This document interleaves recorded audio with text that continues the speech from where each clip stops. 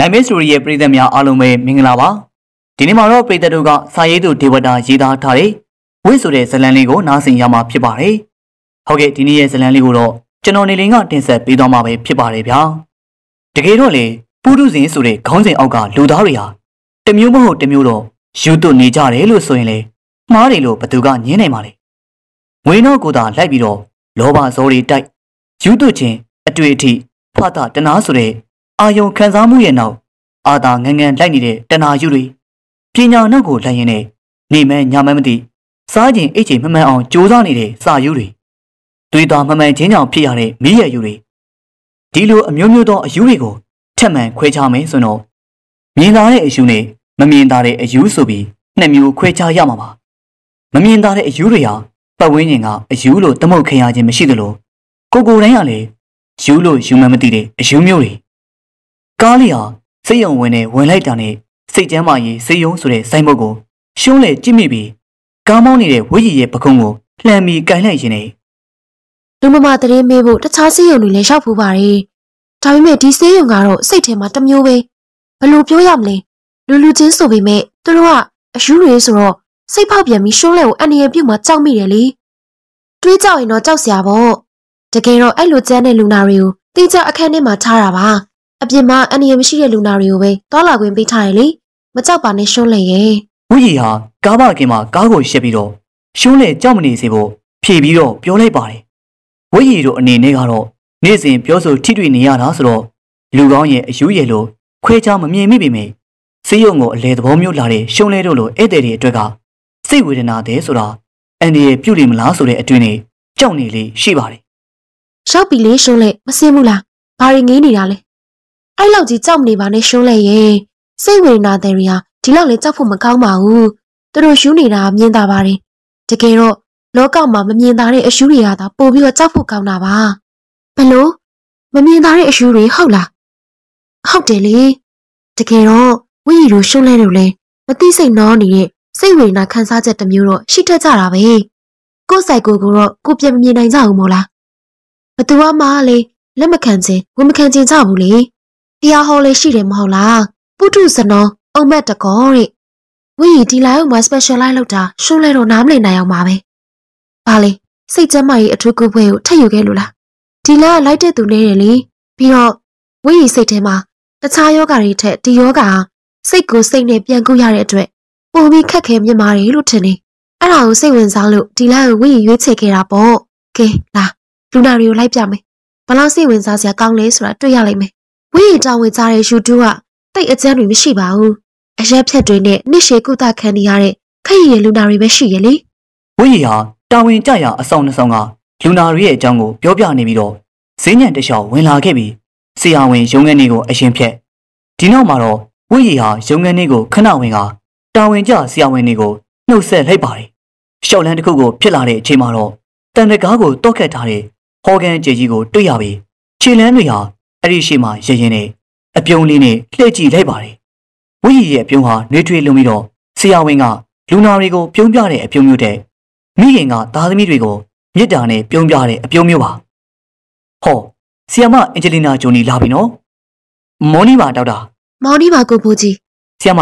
သားနာမည်ကဘိုးကြီးမဟုတ်တော့ဘူးလေ။အော်ဟုတ်သားပဲ။ကိုတိဖိနေကောင်းနေနော်ဒေါက်တာကျွန်တော်နာမည်ဒေးဗစ်လည်းမဟုတ်တော့ဘူးဗျဘရက်ပစ်ပါ။အိုး sorry sorry ဆရာမမေ့သွားလို့ပါ။ကို Brad Pitt ကို Brad Pitt ဟုတ်ပြီအဲ့ဒီအချိန်မှာနောက်ထပ်လူနာတစ်ယောက်က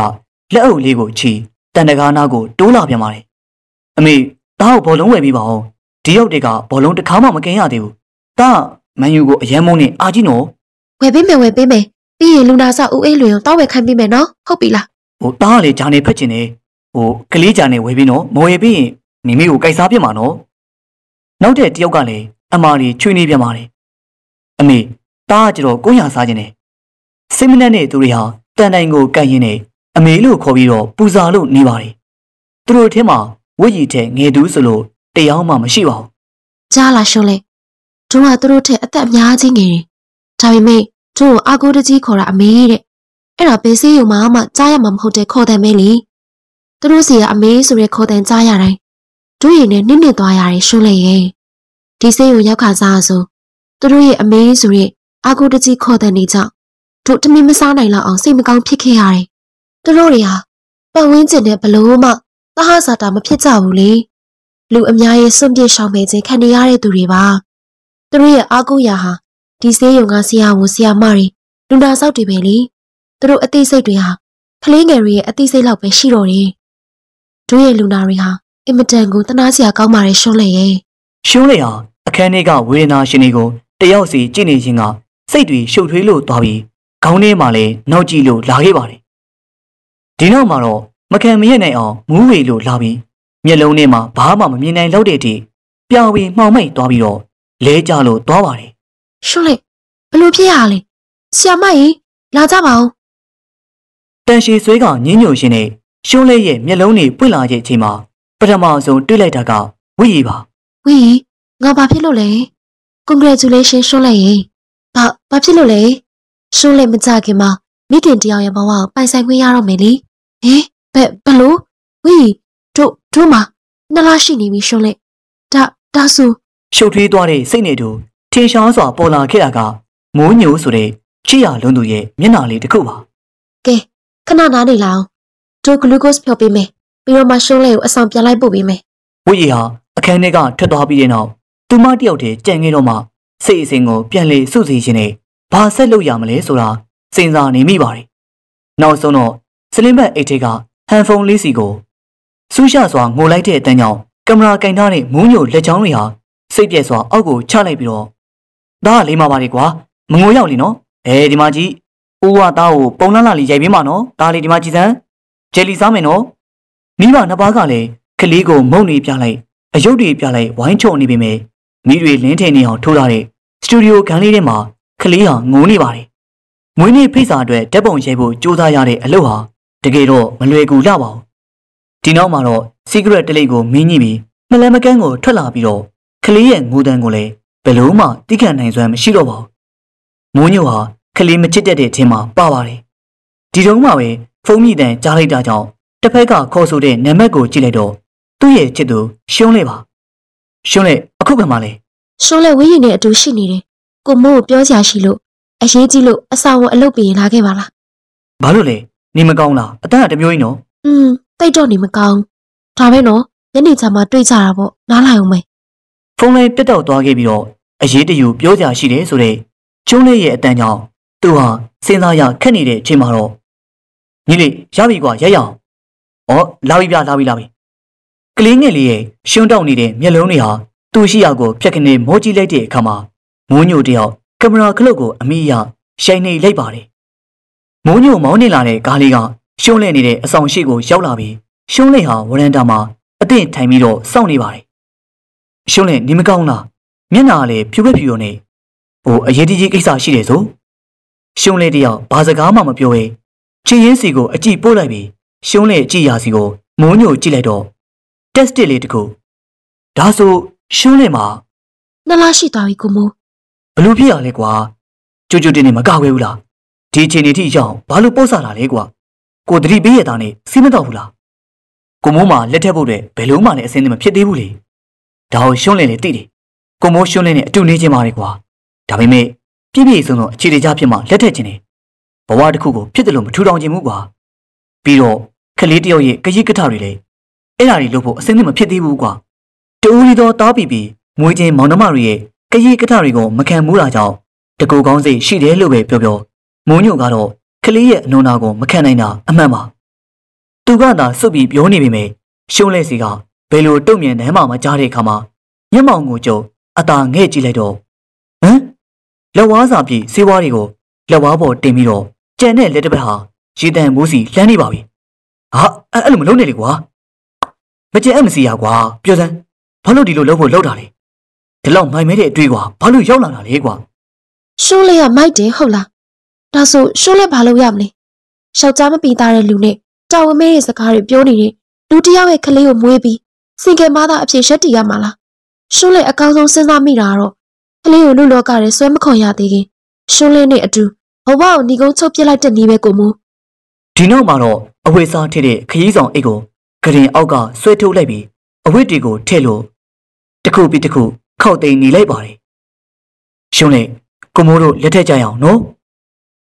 တကယ်တော့မေမေသိရင်ဝမ်းသာမှာကွာမေမေကကိုမိုးကိုလေမိမယူစေချင်တာကြားလာပြီစတူဒီယိုနဲ့ပဲအချိန်ကြီးကုန်းနေလို့တိတ်သဘောမကျဘူးအခုမေမေအတွက်ချွေးမလေးရပြီ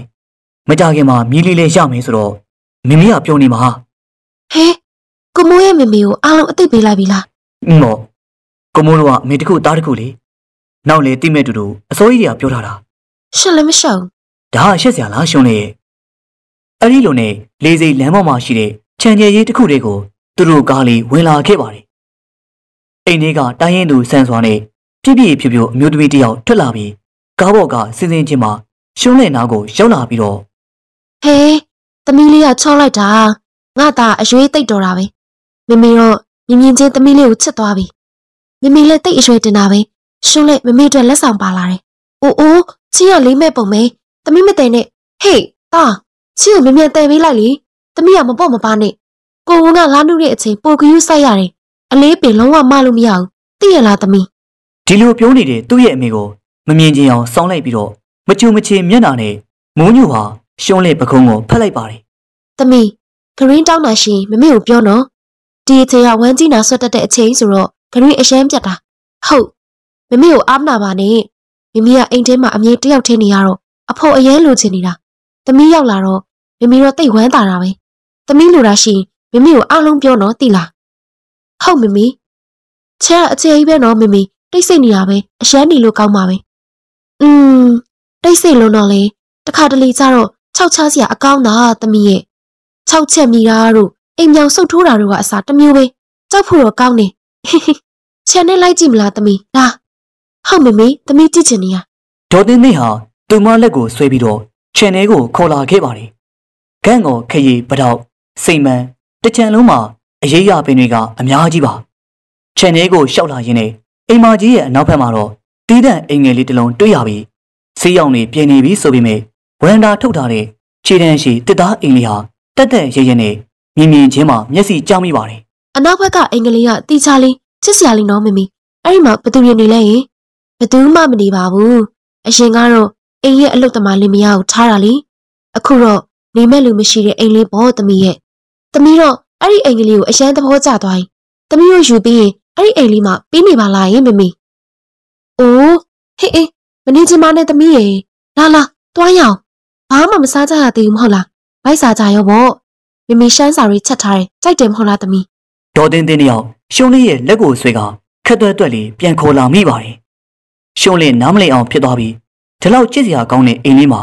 ဘာလို့များပေးမနေချင်တာလဲ။အိမ်ကကြီးသလောက်နေမဲ့လူဟာ၃ယောက်သာရှိပြီးတော့အရင်ကတားမီးနှစ်ယောက်တည်းနေတဲ့အိမ်ကြီးမှာသူမရောက်လာခဲ့တဲ့အတွက်ဒေါ်သိန်းသိန်းဟာဝမ်းသာလို့မဆုံးလေဖြစ်မိပါတယ်။သူမနဲ့မိုးညိုနေမဲ့အခန်းလေးကိုပစ္စည်းတွေထည့်ရင်းနဲ့အချိန်ကုန်သွားခဲ့ပြီးအဝတ်စားအိတ်တွေကပစ္စည်းတွေကိုတစ်ခုချင်းထုတ်လို့နှံမောင်လေးတစ်ခုထွက်လာခဲ့ပါတယ်။ ရှုံးလေးကအလဲမှာရက်လို့ဘေးတစ်ဖက်စီမှာဖေဖေမေမေတို့ရိုက်ထားတဲ့ပုံလေးပါ။ဒီတုန်းကသူမဟာရှစ်တန်းအောင်မိကစားဓာတ်ပုံလေးကိုကြည့်ရင်နဲ့မျက်ရည်တွေကျလာပြီးအခုအချိန်မှသာဖေဖေနဲ့မေမေရှိမဲဆိုရင်ဘယ်လောက်များကောင်းလိမ့်မလဲ။မိဘတွေဟာခရီးသွားရင်းနဲ့တောင်းကျမ်းသူတွေတက်လို့တည်သွားတာကိုသာအတော်ဖြစ်သူပြောပြလို့သိပြီးတော့အလောင်းတွေကိုတော့ရှုံးလေးတို့ပြန်မရခဲ့ပါဘူး။ပြာလဲနေတဲ့မီးရောင်ကစိမ့်များတဲ့မြက်ခင်းပြင်းနဲ့လိုက်ဖက်ညီးစွာ နှွေးထွေးတက်ဝင်တဲ့ညချမ်းလေးတစ်ခုကြပြားလေးတစ်ပုတ်လိုနူးညံ့လှပနေပြီးမီးရောင်အောက်ကပန်းလေးတစ်ပွင့်လိုလှနေတဲ့ရှုံးလေးဟာတတို့သမီးဝစ်စုံလေးနဲ့မိုးညိုကတော့အနောက်တိုင်းဝစ်စုံနဲ့တွက်လက်ပေါ်ပါနေပြီးမင်္ဂလာပွဲကိုတော့သူတို့ခြံထဲမှာပဲလုပ်ခဲ့တာပါတတို့သားနဲ့တတို့သမီးလို့ခေါ်ရမှာလားဒယ်ဒီလောင်းမာမီလောင်းလို့ခေါ်ရမှာလားဝီရီဆုပ်ခုမှလာတယ်နောက်ကြတယ်နော်ဟမ် sorry ကွာလူနာတယောက်အိမ်မှာလာပြနေလို့ မာသားကြီးမိတ်ဆွေရဲ့သမီးဆိုတော့မကင်းအောင်မကင်းချောင်းမှုလို့ပါစိတ်မဆိုးပါနဲ့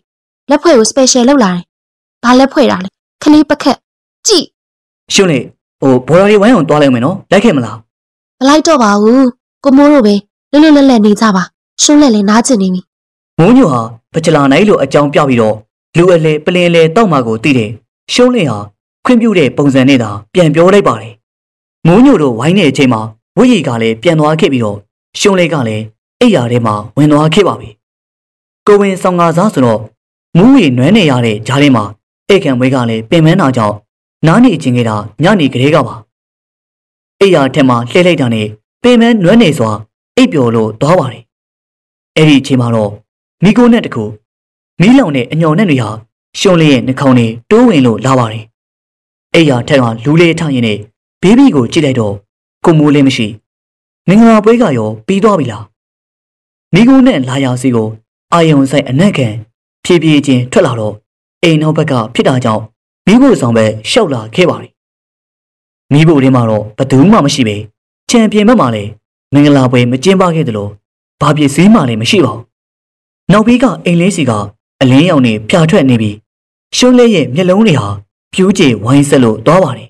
။မိတော့ကြီးတစ်ခုကမြင်မကောင်းတော့အောင်တောက်နေပြီးတော့ အိမ်ငယ်လေးကိုဝါမျိုးလို့နေပါတယ်။မိတော့မီလီယံတွေရဲ့နောက်ကနေကုကေယာမဲ့စွာရောက်ရက်ခက်နေတဲ့ယောက်ျားတစ်ယောက်နဲ့မိန်းမတစ်ယောက်ရဲ့အော်တန်တွေစပင်းတွေဖွာလန်ကျဲစွာနဲ့စောက်တီယာမရအုံးနေပြီ။မျက်နှာတွေကလည်းအယူတွေလိုတွေးယူတွေးတဲ့နေမီးရောင်ကြောင်ညီရဲဝင်းတောက်နေတဲ့မျက်လုံးတွေဟာရှုံးလက်စီကိုကြည့်ပြီးတော့အောနေပြီစူးရှစွာအကူကြီးတောင်းနေတာကြောင့်ဘာလို့ရမှန်းမသိပါဘူးဒီတုန်းမှပဲ ကြောက်မဲ့ဖွယ်ရဝုံးကနေဆိုတဲ့မြည်တမ်းကြီးနဲ့တူအိမ်ငယ်လေးထဲမှာပစ္စည်းတစ်ခုပြီးတစ်ခုပြိုလဲကြလို့သွားပြီးမချိမဆန်အော်တန်ကြီးဟာတွေးပြက်ဖွယ်ရထွက်ပေါ်လာခဲ့ပါတယ်မီးဆွဲလောင်နေတဲ့သူတို့ကိုဘယ်လိုများကဲရမလဲအိမ်ရှိကိုရောက်တော့မိတောက်တွေရဲ့ဂျားတွေကိုလဲကျသွားတဲ့လူတွေကိုကြည့်နေတော့မှတော့မီးဆွဲလောင်နေတဲ့လူနှစ်ယောက်ကကုန်းကုန်းကွက်ကွက်နဲ့ထလာပြီးရှုံးလိုက်ဟာတလန်ချင်းဆုတ်သွားမိပါတယ်ခဏလေးတွင်းမှာပူပြင်းလာတဲ့အပူရှင်တစ်ခုက နောက်ကျောဘက်ကခံစားလိုက်ရပြီးလှည့်ကြည့်လိုက်တဲ့အခါမှာမီးဆွဲလန့်နေတဲ့ယောက်ျားကရှုံးလက်နောက်မှာရောက်နေပါပြီရှုံးလက်ဘာဘာဖြစ်တာလဲကိုကိုအတင်းလှုပ်ရမ်းရင်းနဲ့နာမည်ခေါ်တဲ့ကြားလိုက်တော့မှအတိတွေပြန်ဝင်လို့လာပြီးနောက်မှသူမရောက်နေခဲ့တာကဂရင်ပေါ်မှာပါဘေးနာကမိုးညို့ကိုတွေ့လိုက်တော့ဟင်ကိုမို့ဘယ်တော့ရောက်နေရလဲအဲ့ဒီပြန်လာနဲ့ကိုဝင်လာတာလေရှုံးနဲ့အိမ်မက်ဆိုးတွေမက်နေရလားထောက်အောင်လိုက်တာအကျေကြီးပဲ ဟိုဘလို့အိမ်မက်ဆိုးတွေမက်တာလဲကြည်စမ်းမအောင်ကွာချွေးတွေကလည်းရွှဲလို့မဟုတ်ဘူးကိုမို့အိမ်မက်တော့မဟုတ်နိုင်ဘဘလို့ဘူးအိမ်မက်မဟုတ်ဘူးကိုမို့ရှုံးလက်တကယ်တွေ့ခဲ့ရတာဟိုမီးမီးတွေအအနောက်ကအိမ်လေးတွေကလူတွေကိုမီးလောင်နေတာဘာအဲ့ဒီအိမ်လေးထဲမှာမိန်းမတစ်ယောက်နဲ့ယောက်ျားတစ်ယောက်လည်းတွေ့ရတယ်ရှုံးလက်ကိုလှမ်းអော်ပြီးအကူကြီးတောင်းနေတာကဲပြန်ပြီးတော့အိတ်ကြရအောင်နော်ညာကြီးတကောင်အေးရေးပြတ်တယ်ကွာအလကားအိမ်မက်တွေရှောက်မနေတာတွေးလီချောက်ချလို့ပါနော် အိတ်တော့အိတ်တော့နောက်ထပ်မှာကိုမိုးရဲ့အဲ့ဒီလူတွေကတော်တော့ကွာကိုလေးဒီမှာခေါင်းနဲ့အရင်ကိုက်နေမနဲ့လေအလုပ်သွားရအောင်ပါကွာကျေးဇူးပြုပြီးအိတ်တော့နော်ရှုံးနဲ့လေအိတ်တော့မနဲ့ကြရင်အလုပ်သွားရအောင်ပါကွာသူမဟာအခုချိန်นี้ဇဝေဇဝါဖြစ်နေပြီနာရီကိုကြည့်လိုက်တော့12နာရီတိတိပါနောက်နေ့မှအလုပ်မသွားသေးပဲဝိရီအိမ်ကိုသူမရောက်ခဲ့ပြီးပေါ့ပေါ့ပါပါတခြားအကြောင်းအရာတွေပြောပြီးတဲ့နောက်မှာတော့ကိုမိုးတို့အိမ်မကြီးအနောက်ဘက်ကတစ်တောင်းအိမ်လေးလေအရင်ချစ်ဖို့ကောင်းတာပဲနော် အားရရက်တွေမှာရှုံးလက်အဲ့ဒီမှာပကြေသွားဆွဲချင်တာမာသားကြီးကသွားနေစေချင်မှမပေါ်ဘူးအမလီမလောက်ပါနဲ့ရှောင်းမရဲ့အဲ့ဒီအိမ်မှာတော့နေလို့မဖြစ်ဘူးဘာလို့မဖြစ်ရမှာလဲအိမ်ကတော့လည်းခတ်ထားတာပဲဘာတွေများလှုပ်ဝက်ချက်တွေရှိနေလို့လဲအမလီအဲ့ဒီအိမ်ကလူသေးထားတာသေးတာမှအသေးဆုံးနဲ့သေးတာနော်ပြောရင်ချက်သိန်းအောင်ထားရဲရှုံးလက်ရဲ့ဘလို့မာသားကြီးပြောတော့အရှင်ကအိမ်ကူလင်မယားနှစ်ယောက်နေရဆိုသူတို့တည်သွားကြတာလား အနီတော်တင်းတင်းကရှုံးလေကိုအဲ့ဒီလိုပဲပြောထားလားဟုတ်တယ်လေဝီဘာများမားနေလို့လဲမားတော့မမားပါဘူးနောက်ဖေးအိမ်လေးမှာတည်သွားတဲ့လင်မယားကတခြားသူမဟုတ်ဘူးအန်တီတော်တင်းတင်းရဲ့မောင်နဲ့သူ့မိန်းမမက်သူစားပဲရှုံးလေဟင်အမေဘာလို့လိန်ပြောတာလဲမသိဘူးအော်ရှုံးလေကြောက်သွားမှဆိုလို့ဖြစ်မှာပါသူတို့သားမီးကတိတ်ပြီးလှုပ်ဝက်တက်တာသူတို့အိမ်တွင်းရေးကိုဘသူမှသိစေချင်မှမရဘူးအားလုံးဖုံးကွယ်ထားတယ်လေ နေတာပဲကြည်ပါလားဒီလောက်ကြီးရဲ့အိမ်ကြီးထဲမှာသူတို့သားမီးနှစ်ယောက်ချင်းမကြောက်မရွံ့နေနေတာပဲကြည်လေသူတို့ကအဲ့ဒီအိမ်လေးထဲမှာဘလို့တည်သွားကြရလဲอืมအန်တီတော်တင်းတင်းရဲ့မောင်ကအလင်းဝင်လာတာလေသူ့ယာရူကဘုံမူကြီးအဆင့်ရှိတယ်သူ့နာမည်ကစောလီထူတဲ့သူ့အရှင်ကလူတွေအများကြီးတက်ခဲ့ပြီးအရန်ရက်ဆက်ခဲ့တဲ့လူတစ်ယောက်ပေါ့အလင်းဝင်လာတော့လေဒါရီအားလုံးသူမလုပ်ခဲ့တယ်လို့ပျောက်ပြက်သွားခဲ့တယ်လေ အေးတနေ့တော့သူတို့လင်မယားနှစ်ယောက်နောက်ပြီးအိမ်လေးမှာတရေချောက်ခံရတယ်လို့အန်တီတော်တင်းတင်းကိုဘာပြောနေတယ်ကြားရတယ်ညအိမ်လိုမရအောင်ကိုအချောက်ခံရတာတဲ့ဒီလိုနဲ့သူတို့အိမ်ပြောင်းမှုလုပ်နေတဲ့ညနေခင်းလေးမှာပဲကျမစိုးဝင်တော့တာပေါ့ရှုံးလိုက်ရဲ့နောက်ဖေးဘက်ကမိโก้နဲ့နဲ့ညှော်နဲ့ຫນွေရလို့သွားကြည့်တော့ သူ့မောင်စောလာထူတို့လင်မယားနှစ်ယောက်လုံးမီးဆွဲလောင်ပြီးတေးနေတာတွေ့ရတော့တာပါပဲအာပြန်မျိုးရတာအောင်စက်သိမ်းထားတယ်အဲ့ဒီအချိန်တော့ ငါလည်းအနီတော်တင်းတင်းစီရှောက်နေလို့တွေ့ခဲ့ရတာမိကျွဲမီတေးနေတဲ့ရုပ်ကြီးတွေကလေကြောက်စရာကောင်းလိုက်တာအရမ်းမေးတော်ပြီတော်ပြီစက်မပြောရင်တော့တော်ကြသူတို့အကြောင်းပြောတာသိရင်လာချောက်နေဦးမေကဲရောင်းမကြီးစိတ်ယုံသွားတော့မေဝိညာဉ်လည်းအစမ်းမဲနော်ဝဲနှစ်ခုရထားတဲ့ဆရာဝန်မကြီးဖြစ်နေပြီတရေကြောက်ရတယ်လို့အံ့ဩစရာပဲစိတ်ဝေဒနာတွေကိုတော့မကြောက်ဘူးပေါ့ဟေးဒီမှာစိတ်ဝေဒနာတွေကသူတို့စိတ်ကူးနဲ့သူတို့မသိစိတ်နဲ့လွင့်မျောနေတာပဲရှိတယ်ဘာမှကြောက်စရာမလို မမြင်နိုင်တဲ့တရေကသာဘယ်အချိန်မှာကိုယ်ကိုဝိညာဉ်နှုတ်လိုက်မလဲဆိုတာကြောက်ရတာရှင်ရောတရေမကြောက်လို့လားဟွန်းလောကမှာတရေမကြောက်တတ်တဲ့သူဆိုတာပါရမီရှင်တွေကလွင်အတရားသိကောင်းတဲ့သူနဲ့မျက်မမြင်တွေပဲရှိရလေရှုံးလဲရဲ့โอเคโอเคဟုတ်ပါပြီကဲကဲစေးရုံသွားဖို့ပြင်ပါတို့လဲစိတ်ယုံသွားတော့မေဘိုင်ဘိုင် ဒီနောက်မှာတော့ဝိကြီးကိုနှုတ်ဆက်ကစက်ယုံဘက်ထွက်လာခဲ့ပါတယ်ဝိကြီးတို့အိမ်ကမယန်းကုန်းမှာဆိုတော့မုံညိုတို့အိမ်နဲ့တိတ်မဝေးလာပါဘူး ရှုံးလဲလမ်းမှာအတင်တွေရတဲ့တက်စီကိုငှားလိုက်ပြီးစက်မှုစုံပဲခရီးဆက်ခဲ့ပါတယ်ဝိကြီးပြောတဲ့စကားတွေရဆိုတော့ငါကသူမမတ်ခဲ့တဲ့အိမ်မက်ဟာတည်သွားတဲ့လူတွေနဲ့တတဝေမသိန်တူနေပါတယ်ဆရာကျမမော်နီစနက်ဖြစ်နေလို့မီတင်ရှိတဲ့ရက်တွေပဲလာတော့မယ်နော်အိမ်ရတိတ်ဆိတ်တော့ဒီဇိုင်းဆွဲလို့ပိုကောင်းနေလေမန်နေဂျာစီကိုခွင့်တောင်းပြီးတဲ့နောက်မှာစက်ရေးမှစူပါဗိုင်ဇာတို့နဲ့တွေ့ပြီးတော့ရှုံးနဲ့ဆွဲထားတဲ့ဒီဇိုင်းတွေနဲ့ပိတ်သားတွေလိုက်ဖက်မှုရှိမရှိလက်တွေစစ်ဆေးပြီး စက်ယုံကပြန်လာခဲ့ပါတယ်။အိမ်ပြန်ရောက်လို့ရင်မိုးချုပ်ပြီးတဲ့အခါမှာ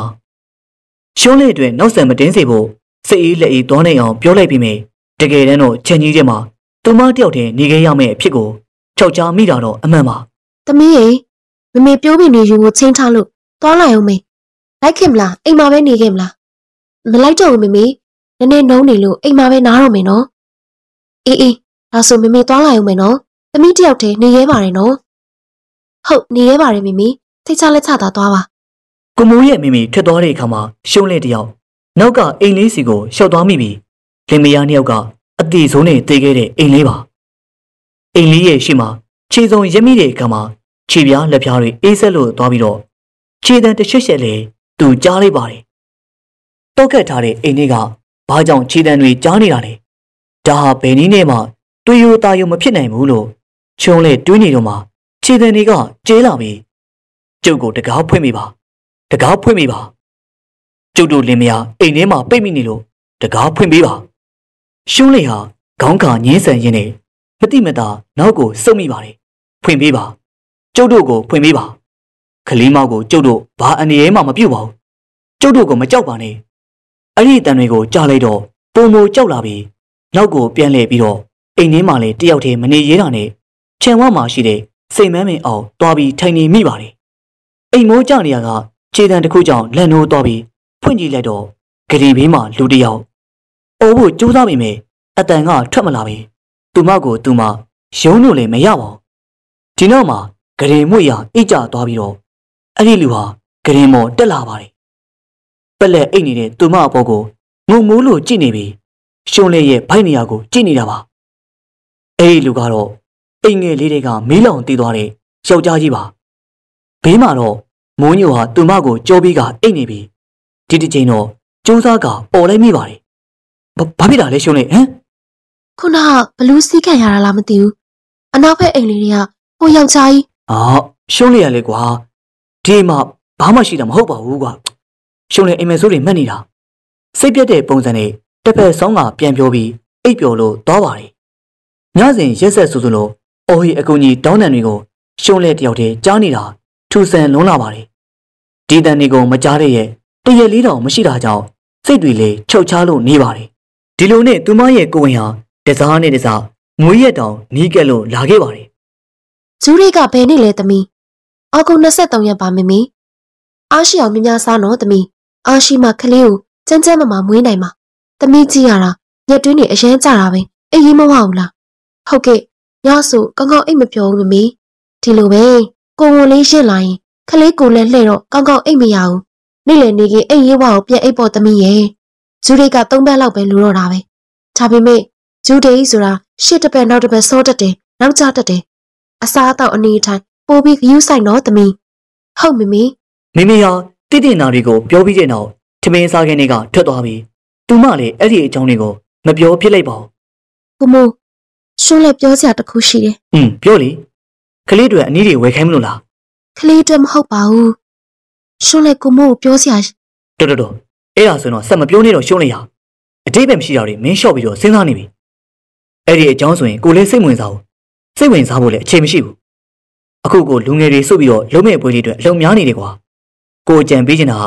မင်းလည်းမင်းရဲ့ဒီဇိုင်းတွေအကောင်းဆုံးဖြစ်ဖို့အာရုံစိုက်တာပါကဲကိုသွားတော့မယ်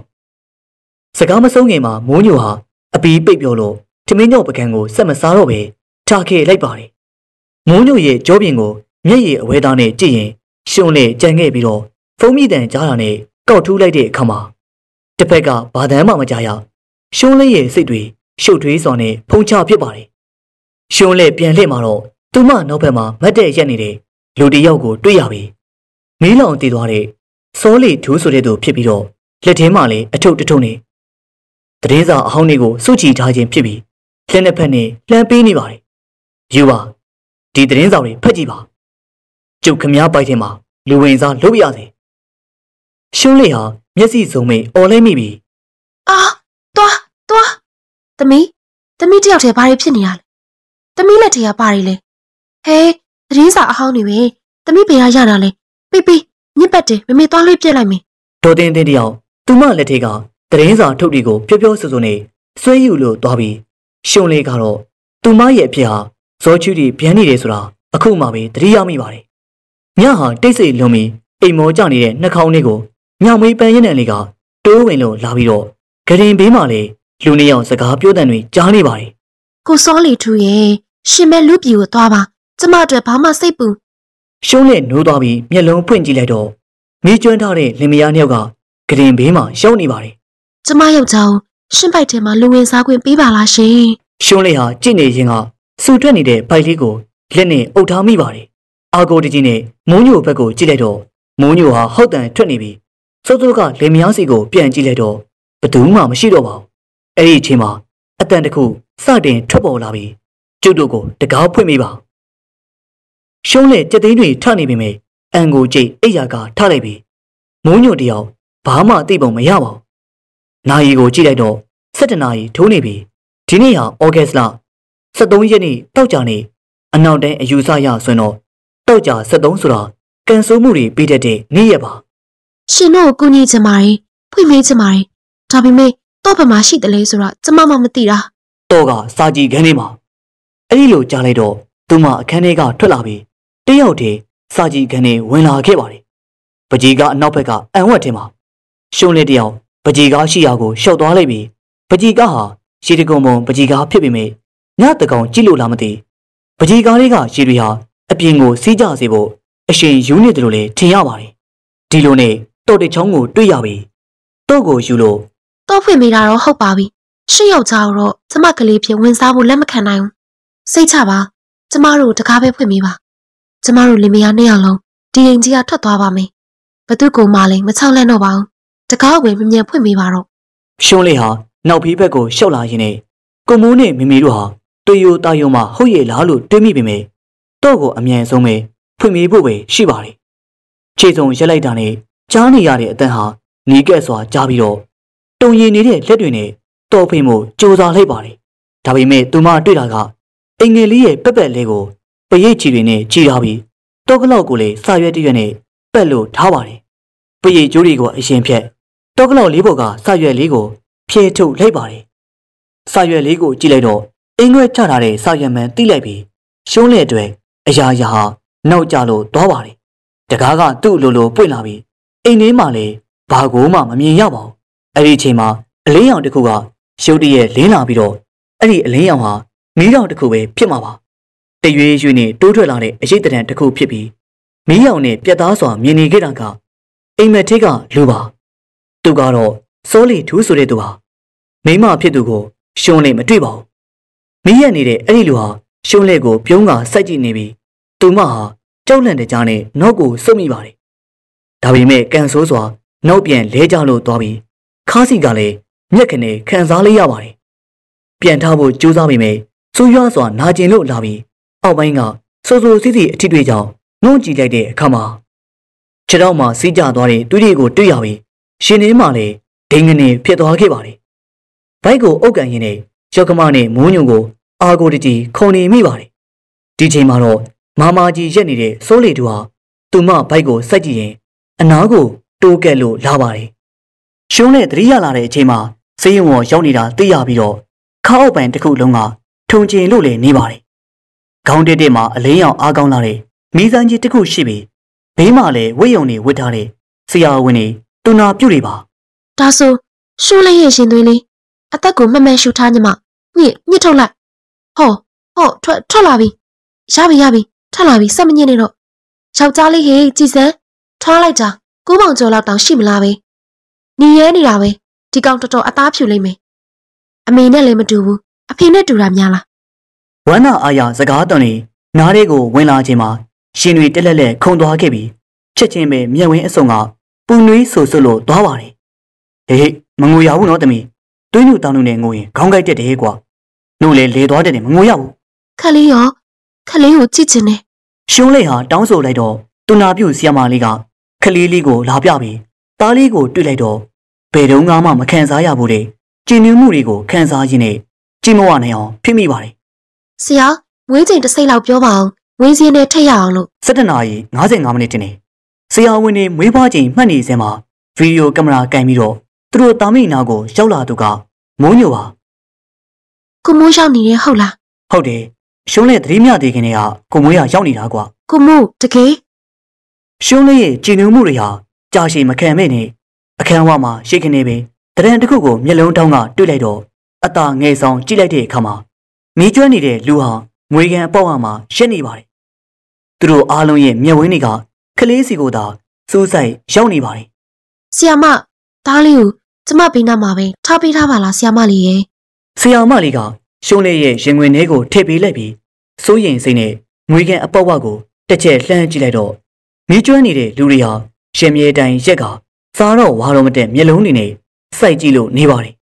ကိုမိုးလောက်ပါအောင်ကိုမကိုမအပေါက်ဝမှာ။ဘာဘာဖြစ်တာလဲဟာ။ရှုံးလေညွန်ပြက်ရာစီကိုလှည့်ကြည့်လိုက်တော့ကလကာစဟာ လေမတိုက်ပါဘဲနဲ့တစ်ဖြက်ဖြက်လှုပ်ခါလို့သွားပါတယ်မျက်ခုံးထူပြီးမျက်လုံးအိမ်ကျဲတာအဖေနဲ့တူတယ်နှကန်းထူပြီးအနားတက်လေးတွေပေါ်တာအမေနဲ့တူတယ်ငါတငယ်ချင်းကမွေးတက်တယ်နော်။ဝူကြီးဟာကလေးငယ်ကိုမကြည့်တဲ့ကြည့်တဲ့ချီပြီးတော့ကလေးကိုတေချာကြည့်ရင်ပြောနေပြီ။ရှုံးလေနဲ့မွန်းညူဟာတယောက်မျက်နှာတယောက်ကြည့်လို့ကြည်နူးစွာပြုံးလိုက်ပါတယ်ဒါနဲ့မွေးစည်းရရပြီလားမမေနက်စ်နဲ့သွားယူနေတယ်လေလာပါအောင်ငါမြေကြည့်ကြည့်ရလေနော်တဲပါ အိုးတဲမှာပဲတော့ဒီမြေးတယောက်တည်းရှိတဲ့ဟာဟုတ်ပါပြီဟုတ်ပါပြီဘာမှမပြောတော့ပါဘူးနော်อืมမွေးစည်းရင်ကြည့်ရအောင်မေ။ပြောပြောဆိုဆိုနဲ့ခုံလေးပေါ်ကမွေးစင်းကိုကြည့်လိုက်ပြီးဝူကြီးရဲ့မျက်နှာတိတိတသာပြတ်သွားခဲ့ပါတယ်။ဘာလဲကွာတောက်ကြနေ73ရဲလို့ပြောမလို့လား။အတိတ်ပဲမရှိတာတွေလာမပြောနေတော့။ sorry ပဲ။လုံးဝလက်မခံဘူးမဟုတ်ပါဘူးကိုမိုးရေနောက်ထပ်9မိနစ်လောက်ထအောက်ထားနိုင်ရင်စနေသားလေးဖြစ်ပြီလို့တွေးနေတာပါ ဒါဆိုရင်လေရှောင်းမရေရှောင်းမမွေးတော့မှပဲအောက်ပြီးမွေးလိုက်တော့နော်ဒီချိန်မှာတော့မိုးညိုခါကြတဲ့ကဖုန်းဟာတုံခါမှုနဲ့အချက်ပြလာပြီးဖုန်းပြောဖို့အတွက်ထွက်သွားခဲ့ပါတယ်ကလေးကိုမီးအောင်ပြရမယ့်အချိန်ရောက်ပါပြီအန်တီပါလိုက်ခင်မယ်သမီး။အခန်းထဲမှာဘယ်သူမှမရှိတော့တဲ့အခါမှာရှုံးလေတယောက်ဝီကြီးကိုတီတိုစကားစမိပါတယ်ဝီတို့လေသားလေးကိုမွေးရညအနောက်ဘက်အိမ်လေးကိုရှောက်တယ်အဲ့ဒီအိမ်လေးကတည်သွားတဲ့မမေရဲ့မောင်စောလီထူထွက်လာတော့တွေးလိုက်ရတယ် ဟင်ဘလို့ရှုံးလဲပြပြပါအောင်ဘလို့တွေးလိုက်ရတာလဲရှုံးလဲ။ဒီကမှာရှုံးလေကညတုန်းကဖြစ်ဖြစ်အားလုံးကို ပြန်လေပြောပြလိုက်တော့ဝီကြီးတယောက်မျက်စိမျက်နှာပြတ်သွားပြီးသူတို့အိမ်ပြင်ထွက်လို့ရပြီဆိုရင်အားလုံးကိုခြောက်တော့မှာပေါ့ဦးစောလီထူကအရန်ဆိုးတာလူတွေလည်းအများကြီးတက်ခဲ့တာတဲ့သူတို့တည်ပြီးမှအချောက်လက်တွေအရန်ပေါ်လာတာအိမ်ကိုလာသမျှဧည့်သည်တွေကိုခြောက်လို့တာစာပုတ်သမားပါမချမ်းဘူးတော်တော်ဆိုးဆိုးဝါးပဲတဲ့ ဒါကြောင့်ကြီးကြီးကအဲ့ဒီအိမ်လေးကိုအင်းချပြီးတော့ပိတ်ထားလိုက်တာရှုံးလေရဲ့ဘာဖြစ်လို့တော့တော့ဖွင့်ပေးလိုက်တာလဲရှုံးလေရဲ့အဲ့ဒါအရန်မားတာပဲအော်ဘယ်သိပါမလဲရှောင်းမရဲ့ညတိုင်းတကားဖွင့်ပေးဖို့အော်နေတဲ့အတန်ကြီးကိုကြားနေရတာတို့စိတ်ဆေးရဲလို့လို့တော့ဖွင့်ပေးလိုက်မိတာကိုမိုးတို့မမေတို့ကမှပြောမပြထားပဲအားလုံးလှုပ်ဝက်ထားပြီးတော့အရှမ်းမသွားပြီဆိုတာရှုံးလေအခုမှပဲသိလိုက်ရတယ်ဒုက္ခပဲဖះဖះတို့တော့အဲ့ဒီအိမ်တော်မလာရေးတော့ဘူး ဝီကြီးကြောက်လန့်နေတဲ့အချိန်မှာမိုးညိုတယောက်အခန်းထဲပြန်ဝင်လာပါတယ်ကဲဝိရီပြန်တော့မယ်နော်ကိုမိုးအိမ်မှာချင်းထားတဲ့လူနာတယောက်လာမှမို့လို့တို့ပြန်ပြီနော်ရှုံးလေကတုတ်ကီရဲ့နှုတ်ဆက်ပြီးမျက်နှာပြက်ပြက်နဲ့ပြန်သွားတဲ့ဝိရီကိုကြည့်ပြီးတော့နားမလည်နိုင်စွာခေါင်းရမ်းမိပါတယ်။ဘာဖြစ်တာလဲအဲ့ဒီကောင်မလေးကကလေးလာကြည့်တာပဲအေးဆေးတော့မနေဘူးမဟုတ်ပါဘူးရှုံးလေစားလိုက်လို့စိတ်ကောက်သွားတာ။အမလီဆရာဝန်မကြီးဖြစ်နေပြီးတော့ကလေးကလာစိတ်ကောက်ရတယ်လို့ ဆေးရုံကနေစိတ်မီအိမ်ရောက်တဲ့အခါမှာအခန်းထဲမှာကလေးပကက်ကလေးကစားစရာတွေအယုံမျိုးစုံနဲ့ကလေးအတုံးဆောင်ပစ္စည်းတွေပြည့်နေတာကြောင့်ရှုံးလေဟာကြည်နူးလို့သွားပါတယ်။အခန်းပြင်ကိုထွက်လာခဲ့တဲ့အချိန်မှာတော့ပြတင်းပေါက်ကကြည့်နေတဲ့လူရိပ်တွေဒါတွေကိုတော့ရှုံးလေသတိမထားမိပါဘူး။အိတ်ခန်းထဲမှာဒေါ်တင်းတင်းကဆက်လန်းတွေကြည့်နေပြီးမိုးညိုကတော့မွေးခန်းထဲမှာရိုက်ထားခဲ့တဲ့ဗီဒီယိုဖိုင်ကိုသူ့ရဲ့ laptop တွေကူးထည့်လို့နေပါတယ်။ ရှုံးလေးကလည်းစာအုပ်တအုပ်ပုံဆွဲစက်ကူနဲ့ခဲတဲ့ငိုကိုင်ကဝင်ထိုင်မိပါတယ်မျက်လုံးသိပ်အားမစားနဲ့ဦးနော်သမီးသွေးနုသားနုမှာမျက်စိအားဆိုင်ရင်မျက်လုံးတွေမှုန်တက်တယ်ဟုတ်ခဏပါမမီ။သူတို့သုံးယောက်စလုံးဟာအလို့ကိုယ်စီနဲ့ငြိမ်သက်လို့နေတဲ့အချိန်မှာစူးကြစွာငုံလိုက်တဲ့တားငယ်လေးရဲ့အတန်းကြောင့်လင်မယားနှစ်ယောက်စလုံးလည်းအပြေးလွှားသွားပြီးတော့ပကက်သေးကတားလေးကိုကြည့်ပြီးတော့တားလေးရဲ့အသားကြီးဟာနေမြန်းနေပြီးစူစူဝါဝါအောနေတာပါ။ မိုးညိုဟာတားလေးကိုချိလိုက်ရင်းနဲ့ဘာလို့လဲတားလေးကဖိဖိစီထားခြင်းလို့လားမငုံနေတော့နော်တားလေးဖိဖိလာပြီလာပြီတိတ်တော့တိတ်တော့မိုးညိုလက်ထဲရောက်နေတဲ့ကလေးလေးဟာအငိုမတိတ်နိုင်သေးပါဘူးမငိုပါနဲ့သားရဲ့ဖိဖိရောက်နေပြီပဲအဲ့ဒီအချိန်မှာတော့အိတ်ခမ်းထဲမှာရှိတဲ့ရေချိုကန်တကားအောက်ခြေကိုမိခိုးငွေတွေတရွေ့ရွေ့ဝင်သွားတော့ကိုရှုံးလင်မြင်လိုက်ပါတယ်မိုးညိုထွက်သွားတာနဲ့ကလေးကိုပကက်ကျဲထည့်ရှုံးလင်ဟာရေချိုးခန်းစီကိုရှောက်သွားလိုက်ပြီး တကားကိုဆွဲအဖွင့်မှာတော့မိခိုးငွေတွေဂျားတွေကမိကျွမ်းနေတဲ့လူတွေကိုတွေ့တာကြောင့်လန့်ဖြန့်လို့သွားပါတယ်အမလီဟဲ့ဟဲ့သမီးဘာဖြစ်တာလဲရေချိုးခန်းထဲမှာလူတွေမီးလောင်နေတဲ့လူတွေအများကြီးပဲမရှိပါဘူးသမီးရဲ့ဘာမှမရှိပါဘူးသမီးသွေးနုသားနုနဲ့စိတ်ကြောင်ချုပ်ချဖြစ်လို့သာမြင်မိမြင်ရရှောက်မြင်တာပါဒေါ်တင်းသိန်းဟာသူ့မစကားကိုမယုံကြည်နိုင်မင်းနဲ့နှစ်သိမ့်လိုက်ပြီးရှုံးလေးရဲ့တကူလုံးဟာချောက်ချာထိတ်လန့်စိတ်တွေနဲ့ အေးဆက်ကတက်ဆက်ဆက်တုံနေပါတယ်ညရောက်တော့လေတအိမ်သားလုံးအိတ်လို့မရအောင်စိုးဝါလာတဲ့အခြေအနေတားငယ်လေးရဲ့ငိုတန်းဟာစူးရွားစွာထွက်ပေါ်လာပြီးတော့ရှုံးလေးရဲ့ရင်ထဲမှာလည်းပူလောင်လို့သွားပါတယ်မိုးညိုကတော့စိတ်ပြည့်တန်တဲ့တစ်ဖက်ကိုကြောခိုင်းလို့သွားပါတယ်အေးအေးသားရဲ့ဘာဖြစ်တာလဲဘာဖြစ်လို့လဲယင်သားလေးတိတ်နော်သားလေးတိတ်တိတ်။သားလေးဟာကြည်သိတ်တော့လည်းမအိပ်။နိုးတိုက်တော့လည်းမဆို့ပဲနဲ့စူးစူးဝါးတာငိုးနေပြီ။ ရှုတရဲ့ထငိုတက်တာဘာကြောင့်မလဲစဉ်းစားလို့မရပါဘူးအေးအေးတိတ်ပါသားရဲ့လိမ္မာပါတယ်နော်တိတ်ပါသားလေးရဲ့။စိတ်ပြက်ဖို့ကောင်းလိုက်တာကွာ။ဘယ်လိုအကျင့်ဆုံးမှမသိဘူး။တရက်မှလည်းကောင်းကောင်းမအိပ်အောင်။ကလေးမွေးပြီးတဲ့နေ့ကစပြီးအေးရေးပြက်တာပဲ။တော်တော်ဒုက္ခပေးတဲ့ကလေးအိုးဘလို့ပြောလိုက်တာလဲကိုမိုးသားကိုဒုက္ခပေးရလို့မပြောပါနဲ့ခုလေကိုမိုးထမ်းချောက်ရလို့လားရှုံးလေပဲထားရတာအိတ်ပါကိုမိုးပါသားအေးစီအိတ်ပါသားကိုရဲဆက်ဆက်မပြောပါနဲ့။ တော်ပြီကွာ။စာကြီးခန်းထဲပဲတော့အိပ်တော့မယ်။အေးရေးပြက်တော့အလုပ်ထေးရရင်ခေါင်းလေးပါကိုက်နေမှာကွာ။မိုးညိုဟာသူတို့သားမိရှိရပဲငဲ့တောင်မကြည့်တော့ပဲထွက်သွားခဲ့ပါတယ်တိတ်တိတ်တိတ်တိတ်ပါသားလေးရဲ့ရှုံးလေတယောက်ကတော့သားလေးရဲ့ကြောပြင်ကိုပုတ်တက်ပင်မျက်ရည်တွေစီးကြလို့လာခဲ့ပါတယ်ဘယ်လိုလုပ်မလဲဒီလောက်ငုံငုံနေရစေကံပြမှာဖြစ်တော့မယ်နော်ကလေးမှဘာယောဂရှိနေလဲမသိဘူးမနေ့ကော်ဖီဝိုင်းမှာကလေးကိုစေကံပြဖို့မိုးညိုကပြောလာပါတယ် ဒီလိုနဲ့သုံးယောက်သားလဲတားငယ်လေးကိုခေါ်လို့စေကံပြလိုက်တဲ့အခါမှာဘာမှတော့မဖြစ်ပါဘူးအားလုံးကောင်းပါတယ်ဘာယောဂမှလည်းမရှိဘူးကလေးကကျန်းကျန်းမာမာပဲဆရာကလေးငိုနေတာကိုရင်းတစ်ခုခုများခန်းစားနေရလို့လားနောက်ပြီးဒီကိုလာတဲ့တလန်းလုံးလဲငိုလာတယ်ဆရာနေရောညပါငိုနေတယ်ဆရာဆရာရှိရောက်မှကလေးအငိုတိတ်သွားတာอืมဒါကဖြစ်တတ်ပါတယ်မွေးကင်းစာကလေးငယ်တွေကအဲ့ဒီလိုပဲဗျအစာရင်ကလည်းကောင်းနေတဲ့အတွက်လီနာယောဂလည်းမရှိပါဘူး အဲတေးဆိုလို့နှိုးစာလို့ဒီလိုအကြောင်းပြချက်မရှိဘူးဆိုရင်တော့တရင်တို့အေးရေးဝါလို့အခြေခံခြင်းတဲ့အတွက်ဒငိုတာလေးဖြစ်မယ်အဲပြောရမယ်ဆိုရင်ကလေးနဲ့လူကြီးကအိတ်ချိန်ကပြောင်းမြန်မြလူကြီးတွေအိတ်တဲ့အချိန်ဆိုရင်သူတို့ဖို့ကတရင်တို့အဲအေးရေးကောင်းကောင်းဝါတဲ့အချိန်ပေါ့ဗျနိုးလာတဲ့အချိန်မှာတယောက်တည်းအထီးကျန်တယ်လို့ခံစားရပြီးတော့နွေ့နွေ့ထွေ့ထွေ့နေခြင်းလို့ငိုတာလည်းဖြစ်နိုင်နေဗျသူတို့တွေကရသားလေးဆိုပေမဲ့သူတို့မှလည်းခံစားချက်ရှိတယ်။အဲ့ဒီခံစားချက်ကိုတခြားသူတွေသိအောင်ဖွင့်ထုတ်ပြဖို့က မိုးပြတာပဲသူတို့မှရှိတာလေဗျာ။စေကန်းကအပြန်မှာတားလေးတွေဘာမှလုံမပေးနိုင်ခဲ့တဲ့အတွက်ရှုံးလင်ဟာစိတ်မကောင်းဖြစ်မိပါတယ်။မင်းတော့မသိဘူးကွာ။ကိုမိုးကတော့လေဒီကောက်ငိုတန်းကိုလုံးဝသိမခံနိုင်ဘူးကိုသားပဲချစ်တော်ချစ်တယ်ဒါပေမဲ့ကွာအဲ့ဒီငိုတန်ကိုခံစားလို့မရဘူးကွာ။အိုးကလေးကိုလည်းနားထောင်ကောင်းတဲ့သူဘာမှရှိမှလဲကိုမိုးရဲ့။ဒါပေမဲ့ကိုသားသမီးပဲတီးခံရမှာပေါ့။ပြီးတော့ကလေးလည်းငိုရတာတက်တာတာမှမဟုတ်တာ။သူလည်းတနာစရာကောင်းပါရဲ့ အဲ့ဒီလိုနဲ့ညရောက်တဲ့အခါမှာအားလုံးအိမ်မောကြနေတဲ့အချိန်မှာကလေးငိုတန်ကထွက်ပေါ်လို့လာပြန်ပါတယ်လုတ်ပြန်ပြီကွာမိုးညိုဟာခြေတံကိုစောက်အောင်နင်းလိုက်ပြီးတော့အခန်းထဲကထွက်သွားပြန်ပါတယ်ကျုံးလင်ဟာတက်ပြင်းကိုရှက်ရင်နဲ့အိယာကထနှုတ်ဘူးဖြို့ဖို့အတွက်လက်ကိုအလန်းမှာတော့ချုံလိန်ပါတဲ့နှုတ်ဘူးအဖုံးလေးဟာပြုတ်ကျလို့သွားပါတယ်အဲ့ဒါနဲ့လှမ်းကောက်လိုက်တော့ပကက်ချင်းရင်မှာမဲတူးနေတဲ့ခြေထောက်တစ်စုံပကက်ကိုကြည့်လိုက်ပြီးတော့ စောစောတုန်းကမိသွေးခဲတုံးလို့ခြေထောက်အစုံဟာပျောက်ချင်းမလားပျောက်ကွယ်လို့သွားပြန်ပါတယ်အဲ့ဒီလိုနဲ့ဆရာဝန်တွေလည်းပြတာစုံသွားခဲ့ပြီးတော့ဆရာဝန်လည်းမနိုင်တာနဲ့နာမည်ကြီးတဲ့ဘုံကြီးเจ้าကိုတခါပြေးရပြန်ပါတယ်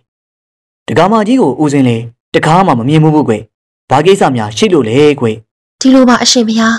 တပည့်တော်မမြေးလေးက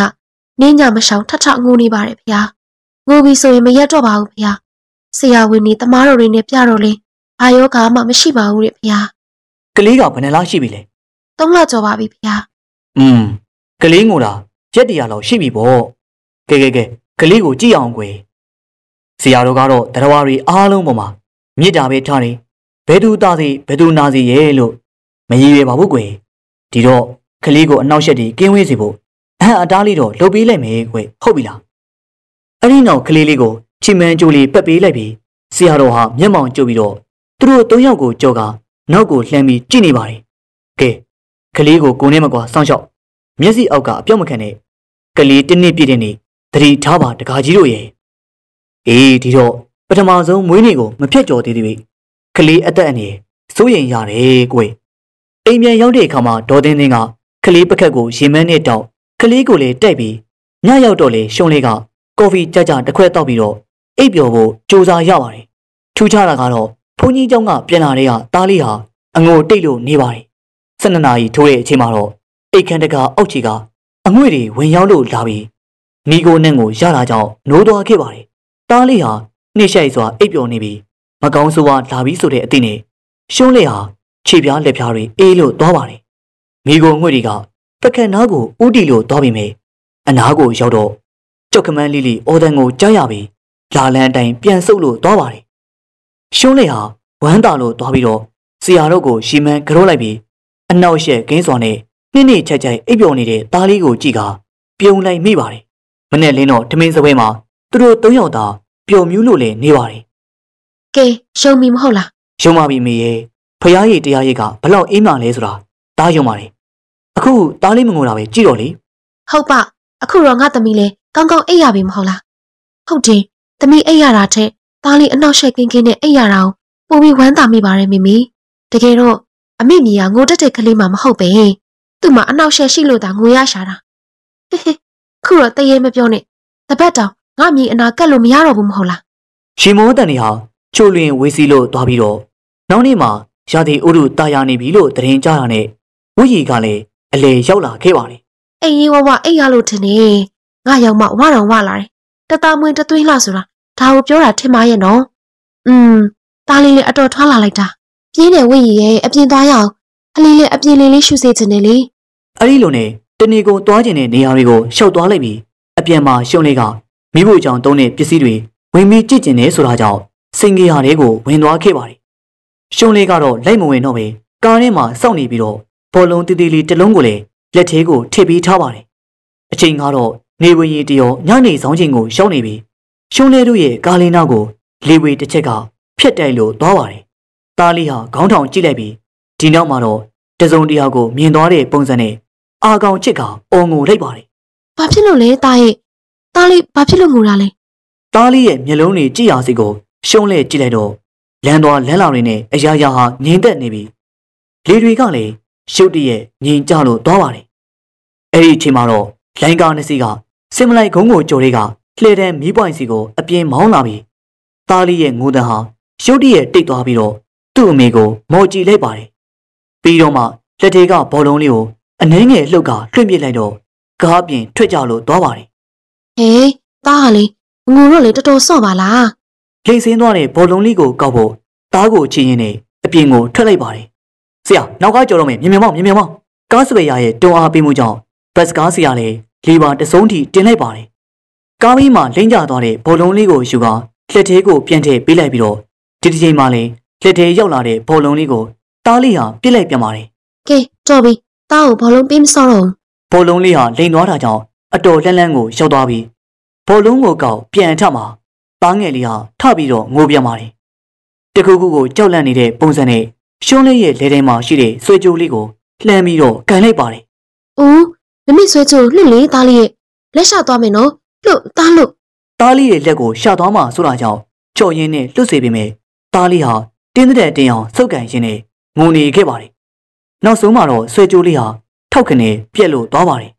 ဆွေကြိုးကိုအောက်ကိုပြစ်ချလိုက်ပြီးပက်စကာမောင်းသမားကလည်းရှေ့ကိုအာယုံဆိုင်မောင်းနေတော့မှဒေဝီတစ်ခုကမိကိုရန်လိုအသွင်ပြောင်းပြီးတော့ကားမောင်းသူနေရာကိုဖျက်တိုက်လို့သွားပါတယ်ထရီယာရင်ဟာထိန်းချုပ်လို့မရတော့ပဲတစုံတစ်ယောက်ကဝင်ပြီးတော့ထိန်းလိုက်တယ်လို့ထရီယာရင်လဲသွားပြီးတော့ ကားကြီးကိုလည်းဘေးကိုဆွေချလိုက်ပါတယ်ဒီနောက်မှာတော့လမ်းမီးမှာရက်ထားတဲ့ဝိရီရဲ့ကားလေးကိုအရှိန်ပြင်းစွာဝင်တိုက်လိုက်ပါတယ်ပြင်းထန်လာတဲ့အရှိန်ကြောင့်ကားလေးဟာလေပေါ်မြောက်တက်တို့သွားပြီးရှုံးလဲတို့တားမိစီကိုတစ်ဖက်ကျွန်းလေကလိမ့်လာခဲ့ပါတယ်ရှုံးလေးကလည်းဆွေကြိုးကိုအကောက်တစ်ချိန်နဲ့ဆိုလိုဖြစ်ပြက်သွားပြီးကားလေးဟာရှုံးလဲငုံလိုက်တဲ့အဖို့ကလိမ့်ကျော်လို့သွားပြီးတော့လက်ငါးလုံးစာလောက်တီတီလေးပဲလွတ်သွားခဲ့တာပါဆွေကြိုးလေးကိုကောက်ပြီးတော့ ဖြစ်ပြက်သွားတဲ့အဖြစ်ပြက်တွေကိုရှင်သက်ရှုမောဖွေဟာငေးပြီးကြည့်နေမိပါတယ်အန်ဩစရာကောင်းတာကတော့ခုနတုန်းကတဲထန်စွာငိုကြွေးနေတဲ့တားလေးဟာအခုတော့အေးဆေးစွာနဲ့အငိုတိတ်သွားပြန်ပါပြီတားလေးဟာအဲ့ဒါကိုကြိုပြီးတော့သိနေတာလားဝိရီတယောက်စိတ်ငြိရာတွေကစိုးရင်တကြီးပြေးထွက်လာပြီးကားလေးကတော့တစစီပက်လက်လင်ကကြွေမလို့သွားပါတယ်